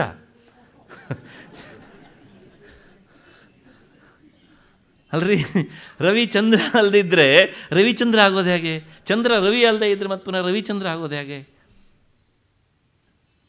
ಹಾಗಾಗಿ ರವಿಚಂದ್ರರು ಬಹಳಷ್ಟು ಜನ ಇದ್ದಾರೆ ನಮ್ಮಲ್ಲಿ. ಹಾಗೆ ಇದನ್ನು ನೋಡಿದಾಗಲೂ ನಮ್ಗೆ ಅನಿಸ್ಬಿಡುತ್ತೆ, ಓಹೋ ಸೋಮಹ ಅಂದರೆ, ಓಹೋ ಸೂರ್ಯನೇ ಚಂದ್ರನ ಇರಬೇಕ ಏನು ಅಂತ. ಸದ್ಯ ಆ ಪುಣ್ಯಾತ್ಮ ಇದನ್ನು ಓದ್ಕೊಂಡು ಹೋಗಿರಲಿಲ್ಲ, ಓದ್ಕೊಂಡು ಹೋಗಿದ್ರೆ ಹೇಳ್ಬಿಡ್ತಿದ್ದ, ನೋಡಿ ಆದಿತ್ಯ ಹೃದಯದಲ್ಲಿ ಸೂರ್ಯನ ಕುರಿತು ಹೇಳಿದಾಗ ಸೋಮಹ ಅಂತ ಶಬ್ದ ಉಂಟು. ಸೋಮ ಅಂದರೆ ಚಂದ್ರ ಅಲ್ವಾ? ಹಾಗಾಗಿ ಸೂರ್ಯನೇ ಚಂದ್ರ ಅಂತ. ಆ ಬೃಹಸ್ಪತಿ ಸದ್ಯ ಇದನ್ನು ಓದಿರಲಿಲ್ಲ. ಕನ್ನಡವೇ ಬರದೇ ಇರುವ ಅವನು ಸಂಸ್ಕೃತ ಓದ್ತಾನ. ಯಾಕೆ ಹೇಳಿದೆ? ಸೋಮ ಅನ್ನೋದು ಲೋಕದಲ್ಲಿ ಪ್ರಸಿದ್ಧವಾದ ಅರ್ಥದಲ್ಲಿ ಚಂದ್ರ ಅಂತ ಇದೆ. ಆದರೆ ಸೋಮ ಅನ್ನೋದಕ್ಕೆ ಚಂದ್ರ ಅಂತ ಅಷ್ಟೇ ಅರ್ಥ. ಅಲ್ಲ, ನೀವು ರುದ್ರ ಪಾಠವನ್ನು ಕೇಳಿ, ನಮ ಸೋಮಾಯ ಚ ರುದ್ರಾಯ ಚ ಬಂತಲ್ಲ ಸೋಮ ಅಂತ. ಹಾಗಿದ್ರೆ ಅಲ್ಲಿ ಚಂದ್ರನ ಹೊಗಳು ಏನಾಗಬೇಕಾಗಿದೆ ಶ್ರುತಿಗೆ? ಹಾಗಿದ್ರೆ ಸೋಮ ಅಂದರೆ ಏನು? ಸೋಮ ಅಂದರೆ ಈಶ್ವರ. ಅಲ್ಲ, ಈಶ್ವರ ಹೆಂಗೆ ಸೋಮ ಆಗ್ತಾನ್ರಿ? ಹೌದು, ಸ್ವಲ್ಪ ಶಬ್ದ ಬಿಡಿಸ್ಬೇಕು. ಆ ಶಬ್ದದ ಎಟಿಮಾಲಜಿಯನ್ನು ನೋಡಬೇಕು ನಾವು. ಆವಾಗಲೇ ಇರೋದು ಸ್ವಾರಸ್ಯ. ಉಮಾ ಅಂದರೆ ಪಾರ್ವತಿ. ಉಮಯ ಸಹಿತ ಸೋಮ. ಅಲ್ವಾ? ಪಾರ್ವತಿ ಸಹಿತನಾದವನು ಸೋಮ. ಹಾಗಾಗಿ ಪಾರ್ವತಿಪತಿ ಅಂತ ಅರ್ಥ. ಅಷ್ಟೇ ಅರ್ಥ. ಹಾಗಿದ್ರೆ ಇಲ್ಲಿ ಏನರ್ಥ ಅಂದರೆ, ಇಲ್ಲಿ ಅರ್ಥ, ಉಮಾ ಅನ್ನೋದಕ್ಕೆ ಅರ್ಥ ಪ್ರಭಾ ಅಂತ ಅರ್ಥ. ಪ್ರಭೆಗೆ ಉಮಾ ಅಂತ ಹೆಸರು ಸಂಸ್ಕೃತದಲ್ಲಿ ಆ ಸದಾ ಪ್ರಭೆಯಿಂದ ಕೂಡಿರ್ತಾನೆ ಆದ್ದರಿಂದ ಅವನು ಸೋಮಃ ಅಂತ. ಇದು ಒಂದು ಅರ್ಥ. ಉಮಾ ಅನ್ನೋದಕ್ಕೆ ಅರ್ಥವೇ ಪ್ರಭಾ ಅಂತ, ಪ್ರಭೆ ಅಂತ ಅರ್ಥ, ಲೈಟ್ ಅಂತ ಅರ್ಥ. ಇನ್ನೊಂದು ಅರ್ಥ ಉಂಟು. ಉಹು ಅಂದರೆ ಅದೊಂದು ಅವ್ಯಯ. ಉಮಾ ಅಂತ ಉಂಟಲ್ಲ, ಅಲ್ಲಿ ಉಹು ಅಂತ ಒಂದು ಅವ್ಯಯ. ಅದಕ್ಕೆ ಅರ್ಥ ಸರ್ವದಾ ಅಂತ ಅರ್ಥ. ಆಲ್ವೇಸ್ ಅಂತ ಹೇಳಬೇಕು ಅಂದರೆ ವೈದಿಕ ಭಾಷೆಯಲ್ಲಿ ಒಂದು ಶಬ್ದ ಉಂಟು. ಆ ಶಬ್ದವೂ ಹೌದು, ಅಕ್ಷರವೂ ಹೌದು. ಉಹು ಅಂತ ಅವ್ಯಯ ಅದು. ಉಹು ಅಂದರೆ ಯಾವಾಗಲೂ ಅಂತ ಅರ್ಥ. ಮತ್ತು ಮಾ ಅಂದರೆ ಮಾ ಪ್ರಭಾ ಅಂತ ಅರ್ಥ. ಹಾಗಾಗಿ ಉಹು ಯಾವಾಗಲೂ ಮಾ ಪ್ರಭೆಯಿಂದ ಕೂಡಿದವನು ಯಾವನೋ? ಅವನು ಸೋಮಃ ಉಮಯ ಸಹಿತ ಸೋಮಃ ನೋಡಿ, ಸಂಸ್ಕೃತ ಸಾಹಿತ್ಯ ಒಂದು ಶಬ್ದದ ವಿವರಣೆಯನ್ನು ಹೇಗೆ ಹೇಳ್ತಾ ಹೋಗುತ್ತೆ ಅಂದರೆ ನೀವು ಹಿಂಜಿದಷ್ಟು ಅರ್ಥ ಬರ್ತಾ ಇರುತ್ತೆ ಅದಕ್ಕೆ. ನೀವು ಎಳೆದಷ್ಟು ಅರ್ಥ ಬರ್ತಾ ಇರುತ್ತೆ. ಇದು ಯಾವುದೂ ಪಾಂಡಿತ್ಯ ಪ್ರದರ್ಶನ ಅಲ್ಲ. ಸಹಜವಾಗಿ ಸಿಗುವಂಥ ಅರ್ಥ. ಹಾಗಾಗಿ ಮತ್ತೆ ಸರ್ವದಾ ಪ್ರಭಯ ಸಹಿತ ಸೋಮ. ಯಾವಾಗಲೂ ಪ್ರಭೆಯಿಂದ ಕೂಡಿದವನು ಸೋಮ. ಹೇಳಿ ಸೂರ್ಯ ಯಾವಾಗ ಪ್ರಭಾರಹಿತನಾಗಿ ಇರ್ತಾನೆ ಅಂತ. ಒಂದು ಮಂದಪ್ರಭೆಯಿಂದ ಕೂಡಿರ್ತಾನೆ ಅಥವಾ ಕಠೋರ ಪ್ರಭೆಯಿಂದ ಕೂಡಿರ್ತಾನೆ. ಪ್ರಭಾರಹಿತನಾಗಿ ಆತ ಇರುವುದೇ ಇಲ್ಲ. ಹಾಗಾಗಿ ಪ್ರಭೆಯಿಂದ ಕೂಡಿದವನು, ಉಮೆಯಿಂದ ಕೂಡಿದವನು ಯಾವನೋ? ಅವನು ಸೋಮ. ಮತ್ತು ಇದಿಷ್ಟು ಲೌಕಿಕವಾದಂಥ ಅರ್ಥದ ಹಿನ್ನೆಲೆಯಲ್ಲಿ ಇನ್ನೊಂದು ಅರ್ಥ ಉಂಟು ಸಂಸದಲ್ಲಿ ಈ ಸೋಮ ಎನ್ನುವಂಥ ಶಬ್ದ ಏನುಂಟು, ಇದು ಎಲ್ಲವುದಕ್ಕೂ ಕಾರಣ ಎನ್ನುವಂಥ ಅರ್ಥವನ್ನು ಕೊಡುವ ಶಬ್ದ. ಸೋಮ ಅಂದರೆ ಪ್ರತಿಯೊಂದಕ್ಕೂ ಯಾವುದು ಕಾರಣವೋ ಅದಕ್ಕೆ ಸೋಮ ಅಂತ ಹೆಸರು. ಸರ್ವ ಕಾರಣಂ ಸೋಮ ಶಬ್ದವಾಚ್ಯಂ ಅಂತ ರಾಮಾಯಣದ ತಿಲಕ ವ್ಯಾಖ್ಯಾನದಲ್ಲಿ ಅದರ ವಿವರಣೆ ಇದೆ. ಸರ್ವ ಕಾರಣಕ್ಕೂ ಯಾವುದು ಅದಕ್ಕೆ ಸೋಮ ಅಂತ. ಹಾಗಿದ್ರೆ ಸರ್ವಕಾರಣ ಯಾವುದು? ವೇದಾಂತದ ಪ್ರಕಾರ ಅಂದರೆ ಪರಬ್ರಹ್ಮ ವಸ್ತು. ಪರಬ್ರಹ್ಮ ವಸ್ತುವಿನ ಇನ್ನೊಂದು ಹೆಸರು ಸೋಮ ಅಂತ. ಅದರ ವಿವರಣೆ ಹೇಗೆ ಅಂದರೆ, ನೋಡಿ, ಉಮಾ ಅಂದರೆ ಪಾರ್ವತಿ ಅಂತ ನಾನು ಹೇಳಿದೆ. ಹಾಗೆ ಉಮಯ ಅಂದರೆ ಪಾರ್ವತಿ ಅಂದರೆ ಸ್ತ್ರೀ ಆದ್ದರಿಂದ ಪ್ರಕೃತಿ ಅಂತ ಅರ್ಥ. ಹಾಗಾಗಿ ಉಮಯ ಪ್ರಕೃತ್ಯಾಖ್ಯಯ ಶಕ್ತಿಯ ಸಹಿತ ಸೋಮ. ಪರಬ್ರಹ್ಮ ವಸ್ತುವಿನ ಅನಿರ್ವಚನೀಯವಾದಂಥ ಒಂದು ಶಕ್ತಿಗೆ ಪ್ರಕೃತಿ ಅಂತ ಹೆಸರು. ಅದಕ್ಕೆ ಅವ್ಯಕ್ತ ಅಂತಲೂ ಕರೀತಾರೆ. ಮಾಯೆ ಅಂತಲೂ ಕರೀತಾರೆ. ಉಮಾ ಅಂತಲೂ ಕರೀತಾರೆ. ಆ ಅನಿರ್ವಚನೀಯವಾದಂಥ ಶಕ್ತಿಯಾದಂಥ ಉಮೆಯಿಂದ ಕೂಡಿ ಇರ್ತದೆ ಆದ್ದರಿಂದ ಪರಬ್ರಹ್ಮ ವಸ್ತುವಿಗೆ ಸೋಮ ಅಂತ ಹೆಸರು. ಈ ಮಾತನ್ನು ನಿನ್ನೆ ನಾನು ಹೇಳಿದ್ದೇನೆ. ಆದಿತ್ಯ ಹೃದಯ ಸ್ತೋತ್ರ ಅನ್ನೋದಕ್ಕೆ ಅರ್ಥ ಏನು ಅಂದರೆ ಆದಿತ್ಯ ಹೃದಯಾಂತರ್ಗತವಾದಂತಹ ಪರಬ್ರಹ್ಮ ವಸ್ತುವಿನ ಸ್ತೋತ್ರ ಇದು ಅಂತ. ಹಾಗಾಗಿ ಸೋಮ ಅನ್ನೋದಕ್ಕೆ ಪರಬ್ರಹ್ಮ ವಸ್ತು ಎನ್ನುವಂಥ ಅರ್ಥವೂ ಸಹ ಉಂಟು. ಅಂದರೆ ಮಾಯಾ ಸಹಿತವಾದಂಥ ಪರಬ್ರಹ್ಮ ವಸ್ತು ಈಶ್ವರ ಅಂತ ಅದನ್ನು ಕರೀತಾರೆ ವೇದಾಂತದ ಭಾಷೆಯಲ್ಲಿ. ಹೀಗಾಗಿ ಸೋಮಃ ಅಂದರೆ ಅವನೇ. ಯಾಕೆ ಅಂದರೆ ತನ್ನ ಈ ಶಕ್ತಿಯಿಂದ ಪ್ರಪಂಚವನ್ನು ಪಾಲನೆ ಮಾಡ್ತಾನೆ. ಜಾಗೃತಗೊಳಿಸ್ತಾನೆ. ಅದರಿಂದ ಎಲ್ಲ ಹಿನ್ನೆಲೆಯಲ್ಲಿ ಅವನು ನಿಜವಾದ ಅರ್ಥದಲ್ಲಿ ಸೋಮಹ ಅಂತ. ಆಯಿತು. ಇಷ್ಟಾದ ಮೇಲೆ ಮತ್ತೆ ಮುಂದಿನ ಶಬ್ದ ಅಪಾಂಪತಿ ಸಂಸ್ಕೃತದಲ್ಲಿ ಅಪ್ ಅಂದರೆ ನೀರು ಅಂತ ಅರ್ಥ. ಆ ನೀರಿಗೆ ಒಡೆಯನಾದ್ರಿಂದ ಅವನನ್ನು ಅಪಾಂಪತಿ ಅಂತ ಕರೀತಾರೆ ನಿಮಗೆ ಅಪಾಂಪತಿ ಅಂದ ತಕ್ಷಣ ನೀರಿನ ಒಡೆಯ ವರುಣ ಅಲ್ವಾ? ವರುಣ ದೇವತೆಗೆ ಹೇಳಬೇಕಲ್ಲ, ಸೂರ್ಯ ಹೇಗಾಗ್ತಾನೆ ಅಂತ ಒಂದು ಪ್ರಶ್ನೆ ಬರುತ್ತೆ. ಹೌದು. ಒಂದು ಲೌಕಿಕವಾದ ಉದಾಹರಣೆಯನ್ನು ಕೊಡ್ತೇನೆ. ಈ ಪ್ರಪಂಚ ಎನ್ನುವಂಥದ್ದು ನಾನು ಮೊನ್ನೆನೂ ಪ್ರಾಯಶಃ ಹಿಂದಿನ ಉಪನ್ಯಾಸದಲ್ಲಿ ಹೇಳಿದ ಜ್ಞಾಪಕ. ಇದೊಂದು ತೋಟ ಇದ್ದ ಹಾಗೇನೆ. ಈ ತೋಟದಲ್ಲಿ ಸಮುದ್ರ ಎನ್ನುವಂಥ ಒಂದು ದೊಡ್ಡ ಸರೋವರ ಉಂಟು. ಈ ತೋಟದ ಮಾಲಿ ಯಾರು ಅಂದರೆ ಸೂರ್ಯನೇ ಇದರ ಮಾಲಿ. ಈ ಮಾಲಿ ಏನು ಮಾಡ್ತಾನೆ ಅಂದರೆ ಸಮುದ್ರದ ನೀರನ್ನು ತನ್ನ ಕಿರಣಗಳಿಂದ ಹೀರ್ತಾನೆ. ಹೀರಿ ಮೋಡಗಳು ಎನ್ನುವಂಥ ಟ್ಯಾಂಕಿನಲ್ಲಿ ಈ ನೀರನ್ನು ಸಂಗ್ರಹಿಸಿ ಇಡ್ತಾನೆ. ಹಾಗೆ ಸಂಗ್ರಹಿಸಿ ಇಟ್ಟು ಪ್ರಪಂಚಕ್ಕೆ ಬೇಕಾದಾಗ ಈ ನೀರನ್ನು ಮಳೆಯ ರೂಪದಲ್ಲಿ ಸುರಿಸ್ತಾನೆ. ನೀರಿನ ಅಭಿಮಾನಿ ದೇವತೆ ನೇರ ವರುಣನಾದರೂ ಸಹ ಈ ನೀರನ್ನು ಎಷ್ಟು ಹೀರಬೇಕು, ಎಷ್ಟು ದಿವಸ ಸಂಗ್ರಹಿಸಬೇಕು, ಯಾವಾಗ ಎಷ್ಟನ್ನು ಬಿಡಬೇಕು ಅಂತ ತೀರ್ಮಾನ ಮಾಡುವವನು ಸೂರ್ಯ. ಆದ್ದರಿಂದ ಹೇಳಿ, ನಿಜವಾದ ಈ ಅಪಾಂಪತಿ ಅಂದರೆ ನೀರಿನ ಒಡೆಯ ಯಾರು ಅಂದರೆ ಅವನೇ. ಹಾಗಾಗಿ ಅಪಾಂಪತಿ ಈ ಜಲಕ್ಕೆಲ್ಲ ಒಡೆಯನಾದ್ರಿಂದ ಅವನು ಅಪಾಂಪತಿ. ಆಯಿತು. ಇದು ಲೌಕಿಕವಾದಂಥ ಅರ್ಥ. ಮತ್ತು ಇನ್ನೊಂದು ಅರ್ಥ ಉಂಟು. ಏನು ಅಂದರೆ ಆಪಹ ಅಂದರೆ ನೀರು ಅಂತ ನಾನು ಹೇಳಿದೆ. ಅದನ್ನು ಸ್ವಲ್ಪ ಅರ್ಥವನ್ನು ವಿಸ್ತರಿಸಿ ಹೇಳಿದರೆ ಆಪಹ ಅನ್ನೋದಕ್ಕೆ ಅರ್ಥ ನಮ್ಮ ದೇಹದಲ್ಲಿರುವಂಥ ಸತ್ವ. ಏನು ಕನ್ನಡದಲ್ಲಿ ಶಕ್ತಿ ಅಂತ ಹೇಳ್ತೇವಲ್ಲ. ಇನ್ನು ಆಧುನಿಕ ಭಾಷೆ ಹೇಳಬೇಕು ಅಂದರೆ ತಾಕತ್ತು ಅಂತ ಹೇಳ್ತೇವಲ್ಲ. ಆ ತಾಕತ್ತಿಗೆ ಸತ್ವ ಅಂತ. ಹೇಳ್ತೇವಲ್ಲ, ಇತ್ತೀಚೆಗೆ ಬರ್ತಾ ಬರ್ತಾ ದೇಹದಲ್ಲಿ ಸತ್ವವೇ ಇಲ್ಲರಿ ಅಂತ ಹೇಳ್ತೇವಲ್ಲ. ಆ ಸತ್ವ ಏನುಂಟಲ್ಲ, ಅದಕ್ಕೆ ಆಪಹ ಅಂತ ಹೆಸರು. ಆಪಹ ಸತ್ವಂ, ಯಾವುದು ನಮ್ಮ ದೇಹದ ಸತ್ವ ಅಂದರೆ ಚಿತ್ತ, ಮನಸ್ಸು. ಮನಸ್ಸು ಕೆಲಸ ಮಾಡಿದರೆ ಈ ದೇಹಕ್ಕೆ ಬೆಲೆ. ಅದೇನಾದ್ರೂ ಕೆಲಸ ಮಾಡದೆ? ಕೋಮಾ ಸ್ಥಿತಿಗೆ ಹೋಗಿಬಿಟ್ರೆ? ಇದೇನು ಬೆಲೆ ಉಂಟು ಇದಕ್ಕೆ? ಮನುಷ್ಯ ಅಂತ ಕರೆಯೋದೇ ಮನೀಷಾ ಅಂದರೆ ಬುದ್ಧಿ, ಮತಿ ಅಂತ ಅರ್ಥ. ಅದು ಇದ್ದದ್ರಿಂದ ನಾವು ಮನುಷ್ಯರು. ಅದು ಕೆಲಸ ಮಾಡದೆ ಇದ್ದರೆ ಅದು ಇದ್ದೂ ಸಹ ಇಲ್ಲದೇ ಇದ್ದ ಹಾಗಾಗತ್ತೆ ಹಾಗಾಗಿ ದೇಹ ಆಗೇನಾಗುತ್ತೆ ಕೇಳಿದೆ ಇದ್ದೂ ಇಲ್ಲದೇ ಇದ್ದ ಹಾಗಾಗತ್ತೆ ಹಾಗಾಗಿ ಈ ಸತ್ವ, ಚಿತ್ತಾತ್ಮಕವಾದಂತಹ ಆಪಹ, ಸತ್ವ ಅನ್ನೋದು ಏನುಂಟು?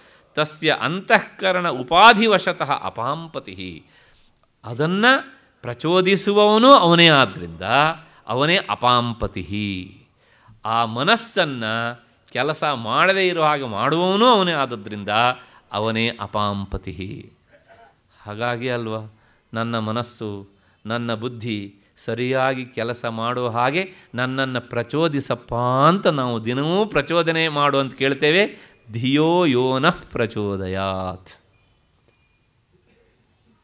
ಹಾಗಾಗಿ ನಮ್ಮ ನಿಜವಾದ ಸತ್ವ ಯಾವುದು ಅಂದರೆ ಮನಸ್ಸು. ಆ ಮನಸ್ಸನ್ನು ಬೆಳಗುವವನು ಮತ್ತು ಅದನ್ನು ಬೆಳಗದೆ ಇರುವ ಹಾಗೆ ಮಾಡುವವನು ಅವನೇ ಆದ್ದರಿಂದ ಅವನೇ ಅಪಾಂಪತಿ. ಹಾಗಾಗಿ ಸೂರ್ಯನೇ ನಿಜವಾದ ಅರ್ಥದಲ್ಲಿ ಅಪಾಂಪತಿ. ಇಲ್ಲಿಗೆ ಈ ಒಂದು ಶ್ಲೋಕದಲ್ಲಿರುವಂಥ ಎಲ್ಲ ಶಬ್ದಗಳನ್ನು ಸಾಮಾನ್ಯವಾಗಿ ನಾವು ನೋಡಿದ ಹಾಗಾಯಿತು. ಅಲ್ಲಿ ಏನು ಹೇಳ್ದಂಗೆ ಆಯಿತು ಕೇಳಿದರೆ, ಉದಯೇ ಬ್ರಹ್ಮರೂಪೋಯಂ ಮಧ್ಯಾಹ್ನೇತು ಮಹೇಶ್ವರ ಅಸ್ತಮಾನೇ ಸ್ವಯಂ ವಿಷ್ಣು ತ್ರಯೀಮೂರ್ತಿರ್ದಿವಾಕರ. ತ್ರಿಮೂರ್ತಿಗಳ ಸಮಷ್ಟಿ ರೂಪ ಈತನಾಗಿದ್ದಾನೆ ಎನ್ನುವಂಥ ಅರ್ಥ ಹಿನ್ನೆಲೆಯಲ್ಲಿ ಹೊರಟು ನಾವು ಇಲ್ಲಿವರೆಗೆ ಬಂದಿದ್ದೇವೆ. ಎಂಟನೇ ಶ್ಲೋಕ ಇಲ್ಲಿಗೆ ಮುಗಿತು. ಮತ್ತು ಒಂಬತ್ತನೇ ಶ್ಲೋಕ. ಪಿತರೋ ವಸವಸ್ಸಾಧ್ಯಾ ಅಶ್ವಿನೌ ಮರುತೋ ಮನು. ವಾಯುರ್ವನ್ಹಿ ಪ್ರಜಾ ಪ್ರಾಣ ಋತುಕರ್ತ ಪ್ರಭಾಕರ. ಒಂಬತ್ತನೇ ಶ್ಲೋಕದ ಮೊದಲ ಶಬ್ದವನ್ನು ನೋಡೋಕ್ಕಿಂತ ಮೊದಲು ಈ ಶ್ಲೋಕಗಳ ಶ್ಲೋಕದ ಒಟ್ಟು ತಾತ್ಪರ್ಯ ಏನು ಅಂತ ನೋಡ್ಬೋಣ ರಾಮ, ಏಷಃ, ಈ ಸೂರ್ಯನಾರಾಯಣನೇ ಪಿತರಹ ಪಿತೃದೇವತೆ. ಇವನೇ ವಸುಗಳು, ಇವನೇ ಸಾಧ್ಯರು, ಇವನೇ ಅಶ್ವಿನಿ ದೇವತೆಗಳು, ಇವನೇ ಮರುತ್, ಇವನೇ ಮನು ಇವನೇ ವಾಯು, ಇವನೇ ಅಗ್, ವನ್ಹಿ, ಇವನೇ ಪ್ರಜೆಗಳು ಮತ್ತು ಇವನೇ ಪ್ರಾಣ, ಇವನೇ ಋತುಕರ್ತ, ಇವನೇ ಪ್ರಭಾಕರ. ಸಮಾನವಾದಂಥ ಅರ್ಥವನ್ನು ಹೇಳುವ ಶಬ್ದಗಳು ಬೇಕಷ್ಟಿದೆ ಅಂತ ನಿನ್ನೆನೇ ನಾನು ಹೇಳಿದ್ದೇನೆ. ಅಂತಹ ಶಬ್ದಗಳು ಇಲ್ಲೂ ಸಹ ನಮಗೆ ಕಂಡು ಬರ್ತವೆ. ನೋಡೋಣ, ಏನು ಹೇಳಲಿಕ್ಕಾಗತ್ತೆ ಅಂತ. ಮೊದಲನೇ ಶಬ್ದ, ಪಿತರಹ ಅಂತ. ಪಿತರಹ ಅಂದರೆ ಏನು? ತಂದೆ ಅಂತ. ಅಲ್ರಿ? ಸೂರ್ಯ ಎಲ್ಲರಿಗೂ ತಂದೆ ಆಗೋದು ಹೇಗ್ರಿ? ಈಗ ತಾನೇ ನೀವು ಹೇಳಿದ್ರಿ, ಯಮನಿಗೆ ಮತ್ತು ಶನಿಗೆ ಇಬ್ಬರಿಗೆ ಮಾತ್ರ ತಂದೆಯವನು ಅಂತ. ಮತ್ತು ಎಲ್ಲರಿಗೂ ತಂದೆ ಆಗೋದು ಹೇಗೆ? ಅಂದರೆ ಹೌದು. ತಂದೆ ಎನ್ನುವಂಥ ಶಬ್ದವನ್ನು ಇಷ್ಟೇ ನಾವು ಒಪ್ಪಿಕೊಂಡ್ರೆ ಆ ಅರ್ಥ ಸರಿ.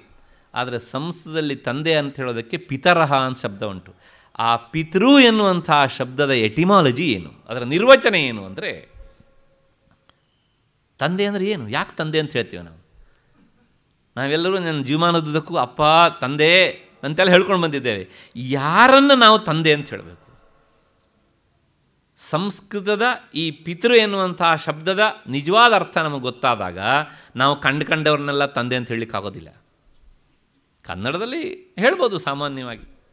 ಆದರೆ ಸಂಸ್ಕೃತದ ಪಿತೃ ಎನ್ನುವಂತಹ ಶಬ್ದ ಏನುಂಟಲ್ಲ, ಅದು ವಿಶಿಷ್ಟವಾದಂಥ ಅರ್ಥವನ್ನು ಕೊಡುವಂಥದ್ದು ಏನು ಅಂದರೆ ಪಿತರಹ ಅನ್ನೋದಕ್ಕೆ ಅರ್ಥ ಬೀಜಪ್ರದ ಅಂತ ಅರ್ಥ.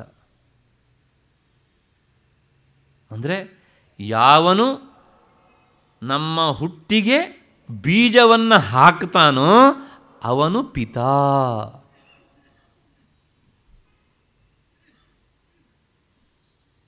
ಹುಟ್ಟಿಗೆ ಕಾರಣನಾಗದೇ ಇರುವವನು ಸುತರಾಂ ಪಿತಾ ಅಲ್ಲ.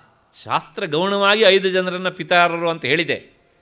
ಉಪನೀತ ಇತ್ಯಾದಿ ಇತ್ಯಾದಿ ಎಲ್ಲ ವಿದ್ಯೆಯನ್ನು ಕೊಟ್ಟವನು ಇದೆಲ್ಲ ಗೌಣವಾಗಿ ಹೇಳಿದಂಥದ್ದು. ಆದರೆ ನಿಜವಾದ ಅರ್ಥ ಪಿತಾ ಅನ್ನೋದಕ್ಕೆ ಅರ್ಥ ಏನು ಅಂದರೆ ಬೀಜಪ್ರದ. ಯಾವನು ನಮ್ಮ ಹುಟ್ಟಿಗೆ ಬೀಜಾವಾಪ ಮಾಡ್ತಾನಲ್ಲ, ಅವನೇ ನಿಜವಾದ ಅರ್ಥದಲ್ಲಿ ಪಿತಾ ಅಂತ. ಮತ್ತು ಸೂರ್ಯ ಹೇಗೆ ನಮಗೆ ಪಿತಾ? ಅಂದರೆ ಹೌದು ನಮ್ಮಪ್ಪ, ನಮ್ಮಮ್ಮ, ಅವರಪ್ಪ, ಅವರಮ್ಮ ಅವರಪ್ಪ, ಅವರಮ್ಮ, ಇನ್ನೂ ಹಿಂದಕ್ಕೆ ಹೋಗಿ.